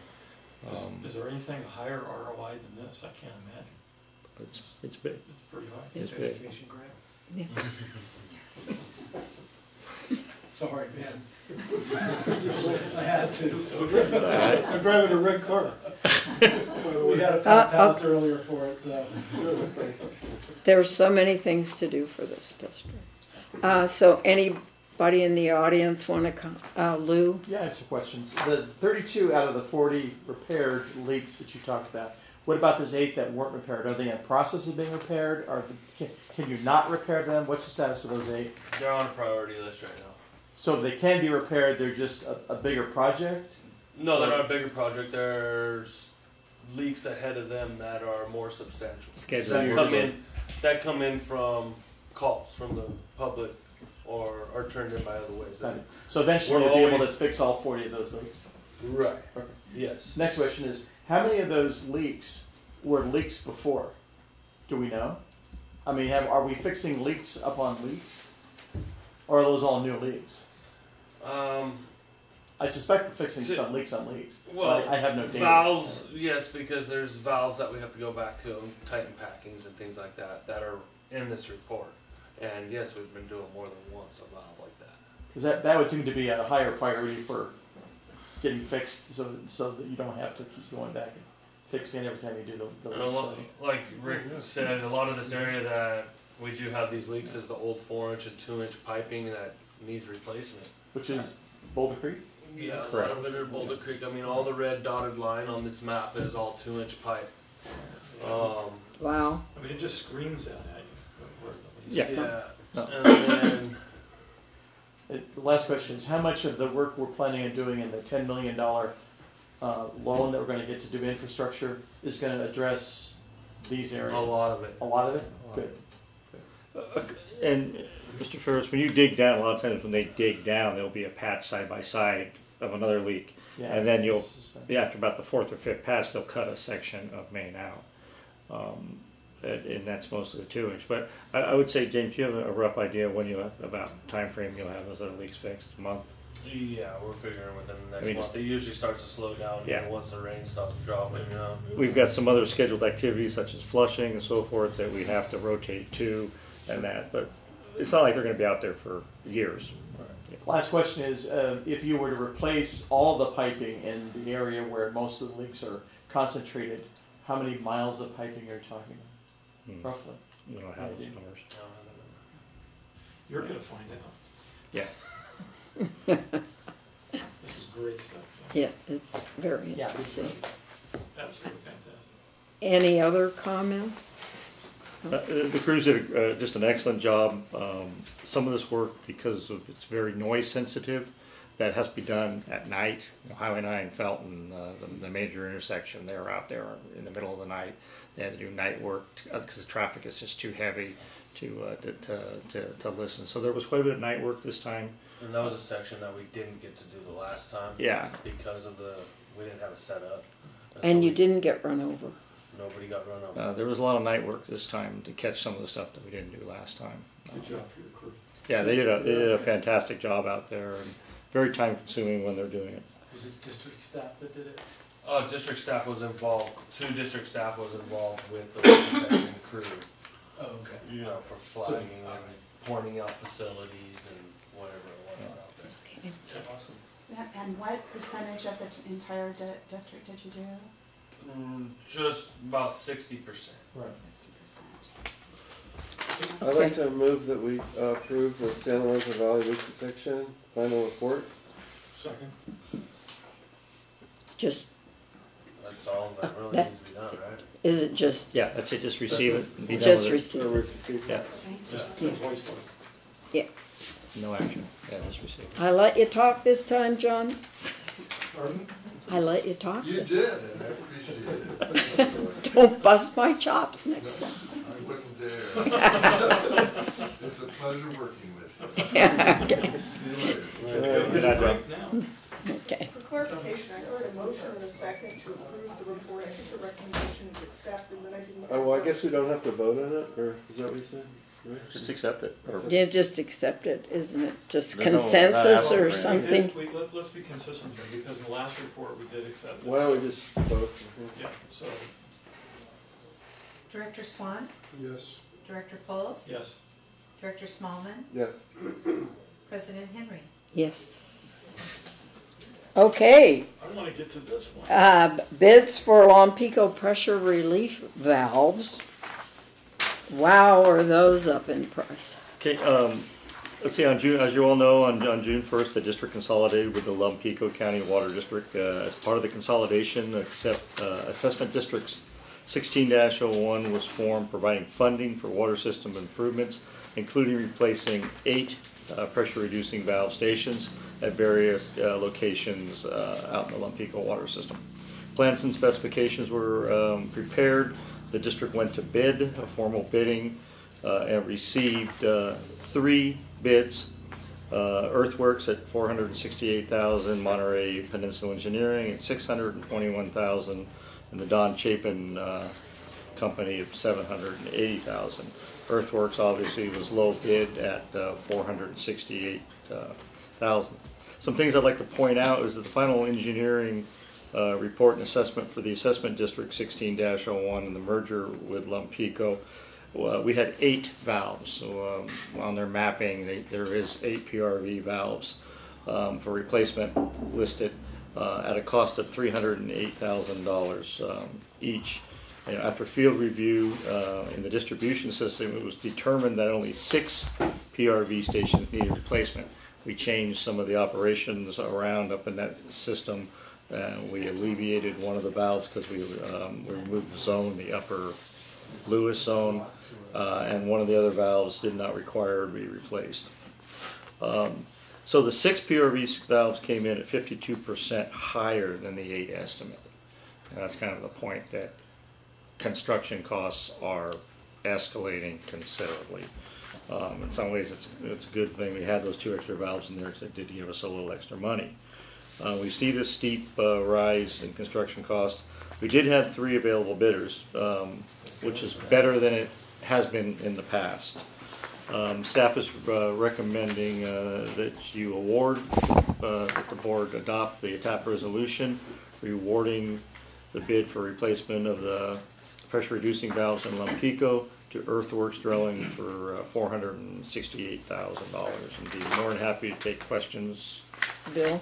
Oh, uh, yeah, well, I'm, I know that there was nine, actually nine on the original plans, but anyway. Yeah, that- Anyway, it's just, just- a real needs to be simple. replaced for six. Do we have to, is six gonna take care of the thing? Yes. And we don't have to do a thing? Yes. Yeah. Right. And then, uh, I guess the other only comment is this, I, I really, really, really think, I mean, that's an easy job that I think that we can do and you know, staff and say. Yeah, we had the staff You know, because yeah, yeah, yeah. I mean, I think we need to build to start doing these types of jobs, and you know, maybe other types like small pipeline repairs and stuff Yeah, like that. small 'Cause, yeah, pipeline man. I mean, these guys are marking these jobs up like Yeah. nobody's. But even this 468 is, I think we could do it. You know, boy, I don't, I don't want. Yeah, well, you I, know- I wasn't sure how much the, the actual material. they're a were. prefab vault, you know, that you buy through Cla-Vals, so You it's know not like much there's. those were each, or- yeah, I do not have. those. $37,000. Yeah. Yeah, I mean, it's, this, it's probably in today's climate, but just saying, man, we can save a lot of money. And, and, a re- and, and before, last comment, um, you know, I, I've been pushing to do these PRVs before and saying, hey, let's get these done because we had the funding before. And because we, we were saving money by not having those service line blowouts. And people were looking at me going, you know, you know, I don't think, I, you know, we're going to save a lot of money getting these done because you've seen the crews out there doing emergency repairs, wastes water, a lot of money. I'm just saying, I mean, there's these little subtle, subtle costs of money that we can save. Let's focus on those and let's not focus on these education grants and minis and stuff like that. Uh, Bob? Okay, I'll say you're ready. So, um, was Don Chapin the company that's doing that little job that we approved uh, last time? So we kinda know where their pricing comes in at. They're right? usually lower. Well, they haven't been the last two. I mean, oh, oh, not Don, I'm sorry, not Don Chapin, uh, Earthworks. Earthworks is usually No, lower. Yeah, yeah. I Yeah. mean, Don Chapin, we kinda know, he's at a, he's at like a two point five X over what Yeah. we would expect, right, okay. Um, the other thing is, uh, Earthworks looks like they're in Capitola, do we know if anybody on this crew is gonna be, is from San Lorenzo Valley? I do not. Okay, so, again, we're sending all of our money out of the economy, local economy here. It's a little right? closer this time. It's a little closer, but not close enough. Um, but we gotta do it, and the only thing I would say is LADOC is gonna have to, at some point in time, address the fact that unless we get some good news on future bids, there's not enough money in the assessment district to cover all the projects that we're Um, do, have you, um, what are the reviews on this company? Do, have you looked into that? Check you They've been around quite a while. Well, we, you know, they're a licensed contractor. We've worked with them before. Other mm-hmm. people have worked with them before. It's hit and miss. It's like any contractor. It's as good as you stay on top of them as your mm-hmm. inspector, and as you, you know, you start out with them being, um, you know, on top of the project, and you make sure that they understand that, and make sure that there's no cost cutting, and they have to provide it per, per bid. But mm-hmm. every contractor, you know, some are better than others. Mm-hmm. Okay, so, so he's like middle of the road, or? They have a nice website. Yeah, I don't, I don't really wanna say anything about Okay, okay. another contract. They're an acceptable contractor, and, and there's no reason why, that I know of, that we should not award a bid. Or we could exclude that a little bit. That's a process in itself to uh, exclude low bid. And I have to say, Mr. um, Fultz, that I take excep- exception to your comment. We, um, this has been going on Wait, for two, wait, it's been over two years now, hasn't it? that- Yeah, it's almost three years. Yes, and we built in a loan, they, that they could have used the interest for the loan, so let me tell Well, you, that's not- right in the very beginning, let me just say that we were told that if they did not get all the work done with it- this amount of money, and it was a high, they built in extra money, then, then it would be the responsibility of all of San Lorenzo Valley to pay the rest. We just wanna be safe, we want our water to be safe. Believe it or not, I'm actually on your side in this. I'm merely raising it as this is something that people need to start talking about because it's gonna be an issue.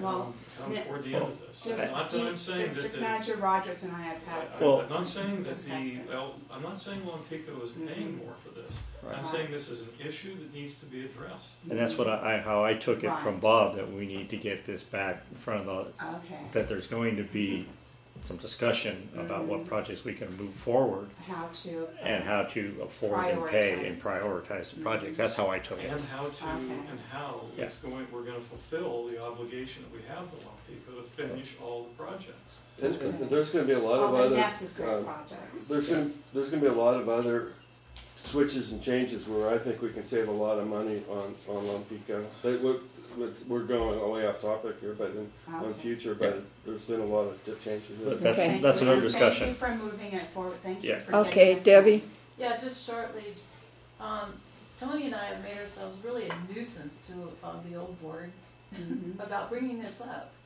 And we are now working on, um, we're both on the, the Lompico Oversight Committee, and we do have to explain to people that perhaps not all the work is going to be done, and we need to be able to, I would, I would like the board's support to say, and it is not going to fall on Lompico because the board is going to take responsibility for past decisions. These were not done in a timely manner. They did not use interest rates that were below two percent when this was presented. And all of these costs were heavily padded and accepted by everyone. It was this district that did not move on it. Oh, And that okay. should be made clear to everyone that Lompico is not imposing a burden. The burden was imposed by previous board decisions. and they- Okay. Um, Okay, we're getting off agenda here, so, I- I'd like to- that, so, it's about, uh, awarding this bid. I- So we need to do that, we, Okay, I'd like to make a motion. okay, you can make a motion. I make a motion that we approve the award for bid to Earthworks paving contractors in the amount of four hundred and Could I, sixty. could I suggest an amendment? Okay, That we approve resolution number twenty-eight, eighteen nineteen, award of construction contract for Lompico PRV replacement project. okay. Um, That's fine, so moved. I'll second it. Your second, your amendment. Well, I Well, suggest, just, he, he accepted my changes. as yeah. well. Okay. And I'm seconding that. Okay, all righty. So, Holly, Director Swan, Yes. Director Fultz, Yes. Director Smallman, aye. President Henry. yes, Motion passed. um, wow, we're getting through this. We're not- So Valley Gardens is off the agenda. Okay. So, it, it, I'll let our illustrious attorney speak to us now, if she wishes to. Well, I, I think it's, um, on the agenda, um, to talk about documents provided to the board in closed session.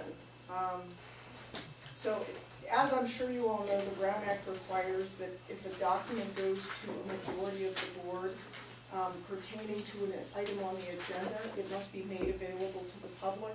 That rule applies to open session meetings and not to closed session meetings. Typically, um, this district, as well as most public agencies, complies with that rule to make documents relevant to open session agenda items available to the public either in the board packet or if they come late at the meeting or certainly upon request of a member of the public. We don't apply that rule with respect to closed session items.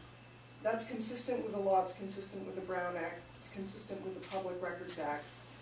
That said, I understand that, that there are concerns about transparency, a desire to be more transparent. And so I would make the recommendation, the board is always, it's always at the board's discretion to you know, waive privileges to release information to the public that it could otherwise keep confidential.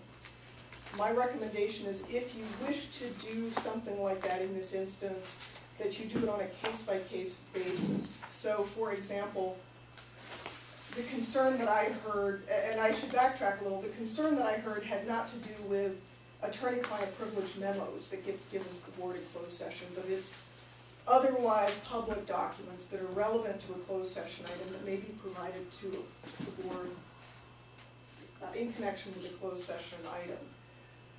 Those materials are otherwise public, however, we don't make them public by virtue of them being provided to the board in closed session. If the board wants to make those materials available to the public, it can, but I recommend doing that on a case-by-case basis. So for example, if I bring something that's otherwise a public document to you for consideration in closed session, I would recommend that during that closed session, the board consider whether it wishes to make that document available to the public after the meeting, and then we can do that. I would counsel against adopting a policy of always providing those kinds of materials to the public, in part because it's very hard to foresee, sitting here right now, what circumstances may arise in the future. So um, if you, if you want to be more transparent and provide otherwise public closed session materials to, um, to the public, uh, I recommend doing so on a case-by-case basis not as a blanket policy. So when you're um, talking about things that are readily available to the district, like you can go down to the county and look at lawsuits and, and get information. So that's something anybody can look at if they want to take the time. Is that's kind of stuff you're talking about Yeah, that's the that's kind of stuff, like for example, if a, if motion gets filed in a litigation that we're talking about in closed session, I may provide a copy of that motion to the board so that it can review that document and have an intelligent conversation about what's going on in the litigation. That document is public in the sense that, yeah, somebody could go get it from the court file. Yeah. Um, however, we do not make it available to the public at the meeting simply because the board looked at it in closed session. But the board could choose to provide a copy of that to the public okay. if it wishes. Bob. Yeah, just uh, to be clear, I was the one that had raised the question about this because um, something that is otherwise publicly available, um, it seemed odd that it wouldn't be disclosed at some point. Um, Even if it's relating to a lawsuit, everybody's gonna know that we're certainly looking at motions that are being filed by the people that we're involved with in, in the lawsuit. The only question I had about that, is there any copyright restrictions or anything like that? I know that the courts sometimes charge for um, release of information. I don't know if it's up to us to release it to the public, but, so it can be downloaded, for example, off our website or something like that. Do you know? It's, it's hard for me to imagine a situation where copyright would prevent you from releasing, um, this kind of information. All right, so, I mean, in general, my view is that if something's publicly available for another source, um, it should be released as part of our, um, uh, packet, but I can, I can accept a recommendation that we do that Okay. post as opposed to pre, and that's fine. Okay, and if it's helpful, just imagine the circumstance where there's a sensitive personnel matter and there might be, you know, things that are posted online or something that are relevant, and it may not be, and I've never, uh, it, it may not be a good idea to just as a matter of course, hand those out to the public. just- Understand. Yeah, yeah. That's, that's fine, okay. Any other question about that? Public? Oh, you Lom Pekins, you're so much trouble. Um, ju- I, I think that would be great, because most people are really interested in what's going on, like with the Viera issue, for example. So that, um, I think the public would appreciate that. And wouldn't it be that they're charging you just because of having to produce that report, and that- that's the only thing they're charging for, that's what I would think? For the, you know, the county or whoever.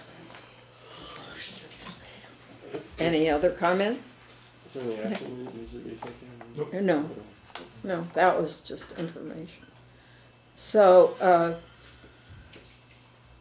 the strategic plan review, um, H, we aren't gonna really review the plan tonight. It's to- kind of, do we want a facilitator to help us with the plan? Because most people, or, or not people, organizations, when it comes to strategic plans, get a facilitator to have, help them with it because it's rather involved. Um, so that kind of is the question here, and I have a, a short staff report, if I may. Um, you know, the strategic, the strategic plan does serve as a framework and the basis for decision-making and detailed planning over an extended period of time. As a top-level planning document, strategic plan um, uh, confirms the overall mission for an organization, affirms the vision by looking uh, out into the future, assesses core values and how the organization will do business, and creates a roadmap of actions and activities uh, to best position uh, for continued mission success.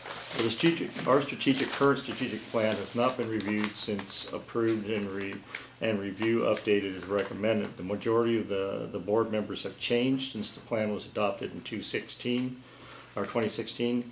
The Lompico consolidation, the Santa Margarita Groundwater Agency are not included in the plan. Uh, progress has been made in some areas of the existing plan, including the north-south intertie. I reached out to the same consultant that started, uh, we're on our second strategic plan, the first original plan, then there was one update when uh, Manager Lee came to work for the district. And we're at almost, I think, five years again, or four years again, um, to look at it. And I talked to the same consultant, which is BHI management consultant, Brent Ives, is uh, a longtime educator and um, Mayor Tracy. uh, ex-mayor of Tracy who does board planning and board orientations and, and has a really good background and understanding. Um, I asked for a proposal to update our existing uh, strategic plan. And, uh, you know, the consultant would first conduct interviews with all, with all board members and general manager staff to determine the status of the strategic plan and how now exists and assess uh, what may need to be changed to better reflect the status of the district today. Uh, interviews would be conducted with each of us for roughly around 60 minutes. Then the uh, consultant would uh, facilitate a workshop session with the board and public to review inputs gathered above and determine how to best to move forward. Any changes in the strategic plan, um, it's anticipated the workshop would be three to four hours depending on board discussion. And then the consultant would provide a brief written follow-up, um, an update of the, of the strategic plan. Um, that uh, comes in at a record or an estimated cost at roughly eighty-eight, uh, nine thousand dollars to have that done by a consultant. The, I think the strategic plan is critical for our organization. It helps staff move ahead. It gets everybody on the same page, the committees, uh, the board. Uh, it helps the long-range planning on what we're doing. I think I think it's really important that we have an updated strategic plan. Now, whether we do it through this consultant or another consultant, or do it try to do it in house, which I would not recommend. I think it's an important document that we when we uh, move forward with. So it's eighty-eight, eighty-eight thousand? Yeah, eighty-eight hundred. Eighty-eight To, to update it. Yeah, I'm sorry. Drop that zero. Oh, Eighty-eight hundred. Oh, I didn't say. I'm sorry. I'm sorry. I, I apologize. Well, see, I just uh, price cut. But wait a second. Just say eighty thousand. I'm, Yeah. I'm a little unclear as to what the deliverable is. Is he going to deliver an updated strategic plan? Yes, based on he'll facilitate all of us coming together, and, and Who's gonna take the pen and write it and finish it? he is. He is. Brent Ives is. Okay. Right. Um, you know, the framework's already laid out from, from Mhm. previous, that, you may wanna change that, I don't know. Um, and this will be shaped with, what, what this board's vision is the next four to five years. Um, and it, it's a really a good working tool for all of us, because then we can set schedules and, and try to, cause there's schedules in the strategic plan, then we can ske- uh, schedule meetings, and start talking about how our planning is gonna go to achieve those goals. And also, if we try to do this ourselves, it'd take us months. Well, and it's good to It'd have be- a it'd be- facilitator. It, yeah, no, I'm just saying, i- i- if we try to do it, it'd kind of be like the, the board policy thing that went on for months and months and months. And we need this. We need this to direct, uh, committees and for the board to know where we're going. And we'd all be interviewed. You all have good ideas, and we need to get all this into a document, and that the board, ag- and not just a single idea. Each one of you has great single ideas, then we need to get the board to approve and then direct staff. So, Rick, you felt that the twenty sixteen, when you did it in twenty sixteen, it was, it was very helpful to that? It was a good process. We, Maybe you can improve it. maybe it's not- you know, there's a lot of public, you know, public input is important with these, um, because you're, you know, you're shaping the district. Um, the first one, the original one was really good because we never had one before, and it was, I think we went out and What about. year was that, yeah? Uh, 2013, Fourteen. 14, somewhere in there. Um, and that, then we've, you know, we've grown each, uh, the next time, and, uh, you know, I think it would be a good process for the board to get through. And then, you know, we get, uh, all of your ideas get down, we, the board reviews those ideas, and then as a board, you, we move forward. Instead of as a single individual. And I- I've been involved in these before for credit union, and we always had a facilitator. It's just the way to go. I mean, I've been working on a committee by committee, department by department list of what I think the priorities are for the, for the district. I, I'm, I'm sort of torn between the fact that I think some of that could be done, some of those discussions about priorities could be done by the board without a facilitator.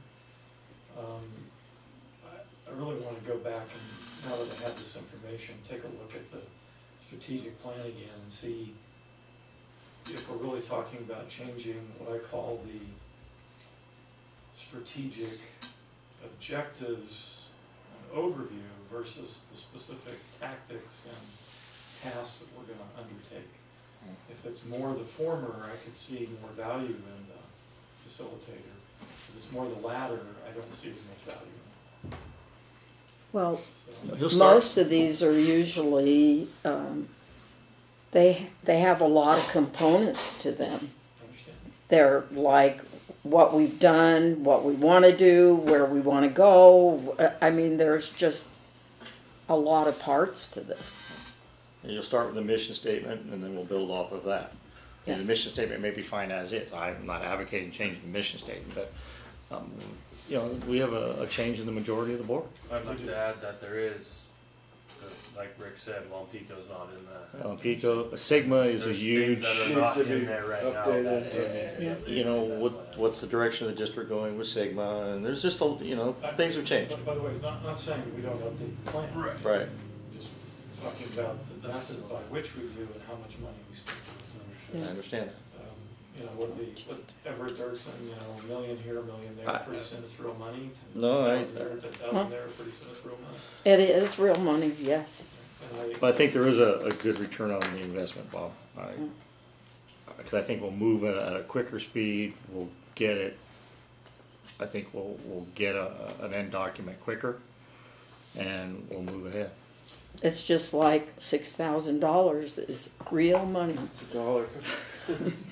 you know, I- I- So- I, I'm, we're not taking any action tonight on Uh, it. you don't have to, because I, the proposal came in late today, I, I haven't got the proposal to you, so I would feel better that, um, and I don't wanna, um, we kind of learned on, uh, uh, our watershed department, uh, environmental department, not to put too much on that first meeting agenda when we have a workshop, so I would probably say I wanna bring this to you the second meeting in March. Okay. Uh, Yeah, the same 'cause- item with the contract for you to review. And we're gonna have finance next. Yeah, because you're gonna have a finance workshop, and I, you know, I think we had too much on the last first meeting, and Yeah. it, it caused delays. Yeah, okay.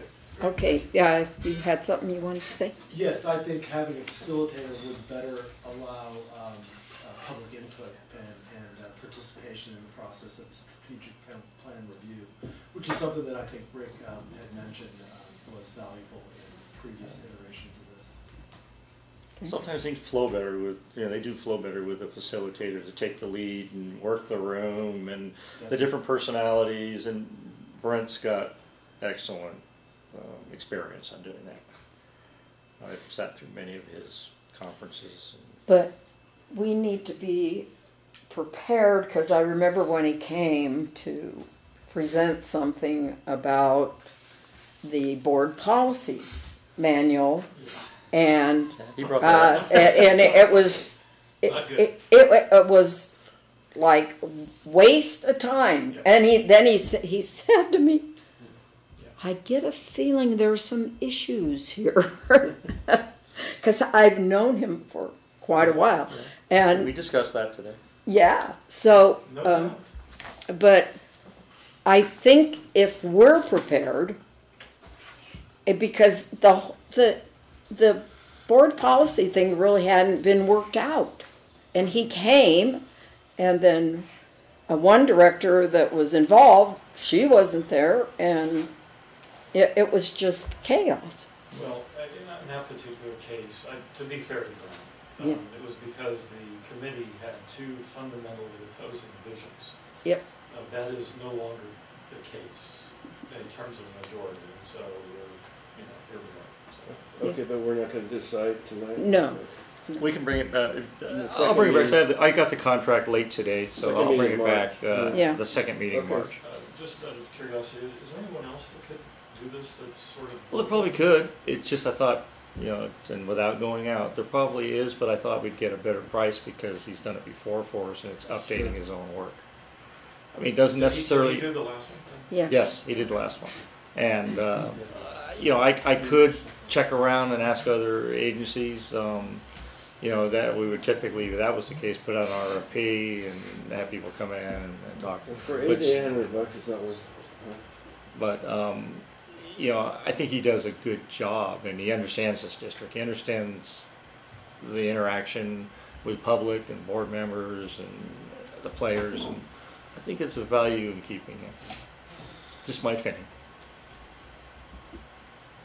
Now he's worked with most of you, or at least two of you, three of you maybe. Uh, Blue sky. Yeah, yeah. Oh, Uh, Question? yes. The eighty-eight hundred dollars that you were talking about, Rick, that is a update on the strategic plan that was done in two thousand and sixteen, correct? It's gonna be a whole new plan. Yeah, but, it- but the, the quote is the one that we've used before, and it was the last one that was done. That's correct. What about the one in two thousand fourteen? Was that vastly different in your mind between the one done in fourteen and one done in sixteen? I mean, are we basically throwing out the one in fourteen now? No, I think, well, the one we did, the last one we did built off of that one, I think it's the same format. Okay, so as we're just building going one. down the road of Yeah, and improvement. changing things around. Okay, any other comment? Okay. So, can we uh, move on to minutes and approve the minutes? Is this on the consent agenda or is it? separate? It is on the consent agenda, the minutes for January 23rd and February 7th. I got a comment on the minutes for the, um, Brown Act. Um, I noted that I was there, and it doesn't say that I attended that meeting, so I want to get credit for attending that meeting. Um, may I say what happened? You weren't there when the meeting began. You came Mhm. in after we had already declared the meeting to be a community meeting and therefore wasn't an actual, um, board meeting any longer. Legal clarification, in order to have this discussion, we need to pull that set of minutes from the Yeah, consent agenda.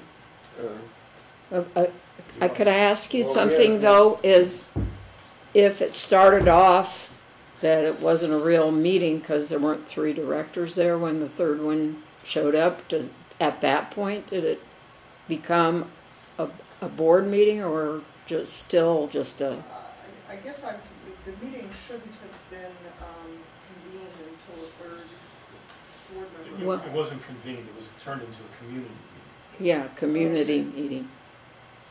It, it was never convened as a board meeting, in other Right. Shall So we these pull are it? minutes? Well, can we- We can should, we- we should pull this from the Yeah, agenda. First of all, let's pull, I want to pull this item from the uh, consent agenda, sorry. about Okay. this. Um, so we can talk about it, okay. Okay, this is the February seventh? No, the January the January twenty-third. It, it was uh, Dennis Timoney from SDRMA came and talked about the Brown Act. Well, can we just note that I was, um, the tenant was there, I came five minutes late and was there, just participating. Well, we waited a Why didn't while. we- why- We waited. So the question here is, was it a, I guess I'm confused what the He just wants credit for being there. I because just it was want something credit, that I don't want happened. somebody coming back at me and say, hey, you didn't take your I, break. I don't, I don't have a problem with saying you came in at a particular time, I I think that's, that's fair, but the, the- the question is, I think, can we still run it as a community meeting, because that's the way we Can't ran it. find it. It was not run as a board meeting, we did not take any action, we simply got a presentation on the, the Brown Act. And that was something that we wanted to do not only for the board, but for the committee members that did show up, and there were some that did. And And that I- was it. I, I talked, I spoke to Dennis Timoney, who gave the Brown Act presentation about this, how do we handle this? Because we were waiting, waiting, and, and no one was showing up. So we only had two board members there, and he said, well, we can go ahead with it, it's just a community meeting. Okay, I, I mean, I'm not hearing anything that gives me any concern about Brown Act compliance. No, I don't think there's an issue. Yeah. Can, can we go ahead and? We didn't make any decisions, we was just a training. But can we go ahead and put it in as I having just shown want, up? I just want knowledge that I went to tenant, attended the training. I was no more than five or ten minutes late. We were fifteen minutes late. Yeah, How we many? were quite late. Fifteen. I don't see why not. Yeah, okay. I'm fine with that.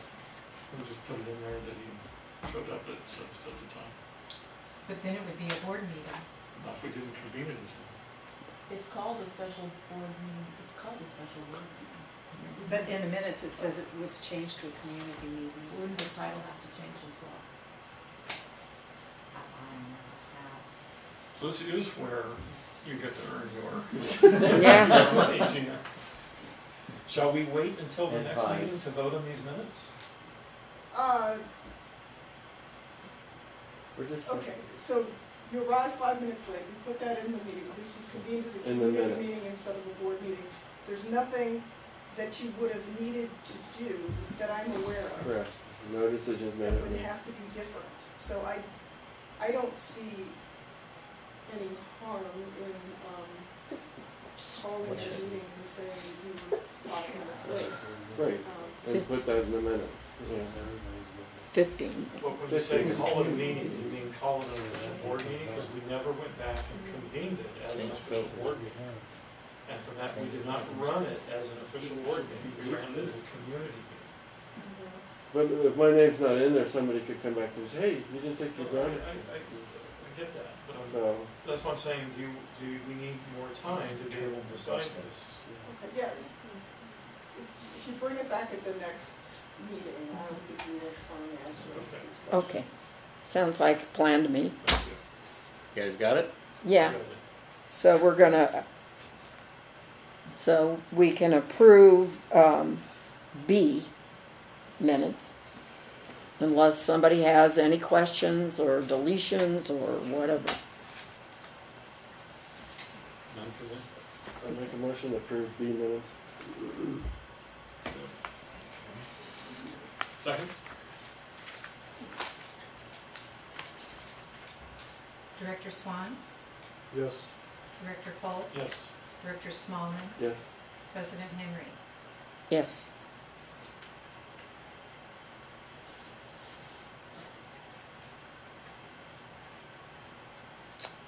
Okay, district reports.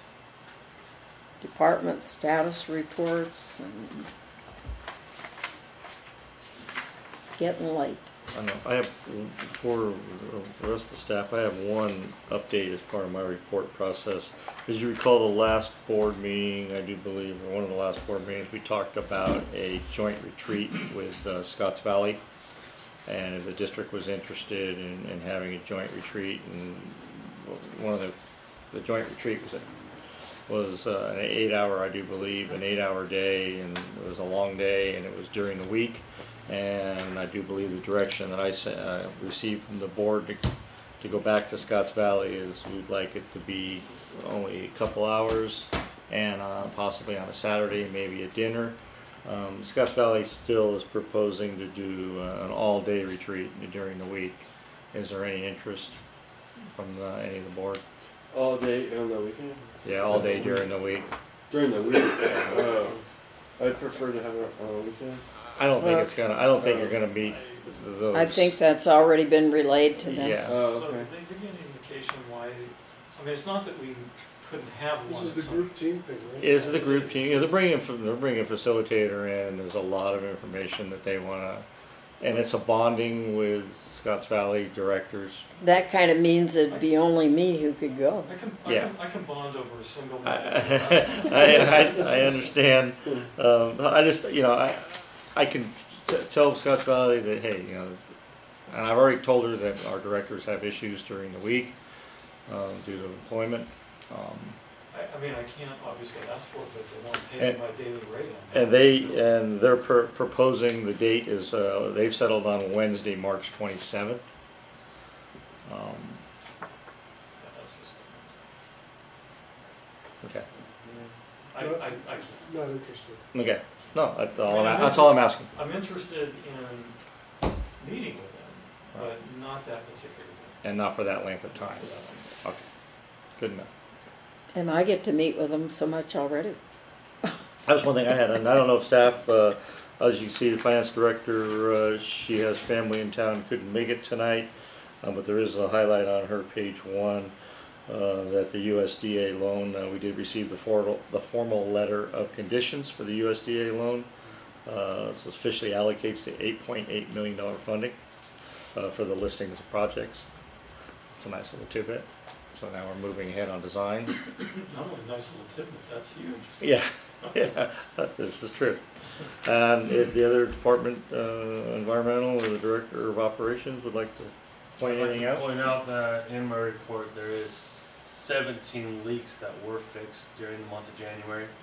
And that's not including the work orders that were not closed before the end of the month. So there was a few more that were actually done during that month, but it's just a figure to show how many leaks we are fixing a month. And it does keep us very busy, and that's on top of the other projects and other stuff that we have to keep running. How do you find the leaks when it's raining?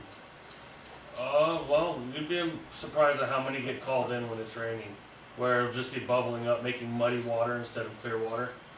And when it's leaking in the road, a lot of people, you know, people notice that kind of thing. People are definitely on the lookout for that that kind of stuff in their neighborhoods, and the majority of them get called in very quickly if they're surfacing, even if it's raining. Sure. It'll start pumping sand, so dirty water going down the road instead of clear water during a rainstorm is a red flag. Or we lost storage. Yeah. And that was the result of, we had a boil notice that we sent out to the board. Yeah. On Scenic Avenue. Yeah. And we lose storage. Well, that's a, that's a lot of work. Yeah, we Find out need, those why- guys Why are, all forty aren't fixed yet? Let's, let's get, let's get pipe replaced and then we don't have to Agreed. fix as many Yeah. leaks. Agreed. yeah, I agree. these guys do so much work for us. Okay. So then there's environmental report or Any nothing, advice? was there anything? Which you already, Oh, one, yeah, the one little comment, you know, if there's a section of pipeline that has a lot of leaks, that's also a red flag that that is a priority main replacement. I agree hundred percent. Once we get our model up and our GIS Yeah. up, we'll be able to pull that Yeah. information a lot easier. We can throw it right into our capital Yeah, improvement this, program. this section of line had X amount of leaks or, yeah. I can't wait for it to be fully functional. Okay. okay. We're moving that direction. Alrighty, I, I think, uh, reports are basically done here. Mhm. So, we can adjourn you this have, meeting. you have a few le- uh, correspondence, I do believe. Um, You have the, uh, um, the minutes from this, uh, the LADOC committee meeting. Oh. Uh, The LADOC, uh, it should be in here. Yes, they From are in there. Last, uh, just wanna point out to you. Uh, then we have a few correspondence from a few folks. Right. And then the last thing is the uh, claim from uh, Terry Beer. Yeah. Yep.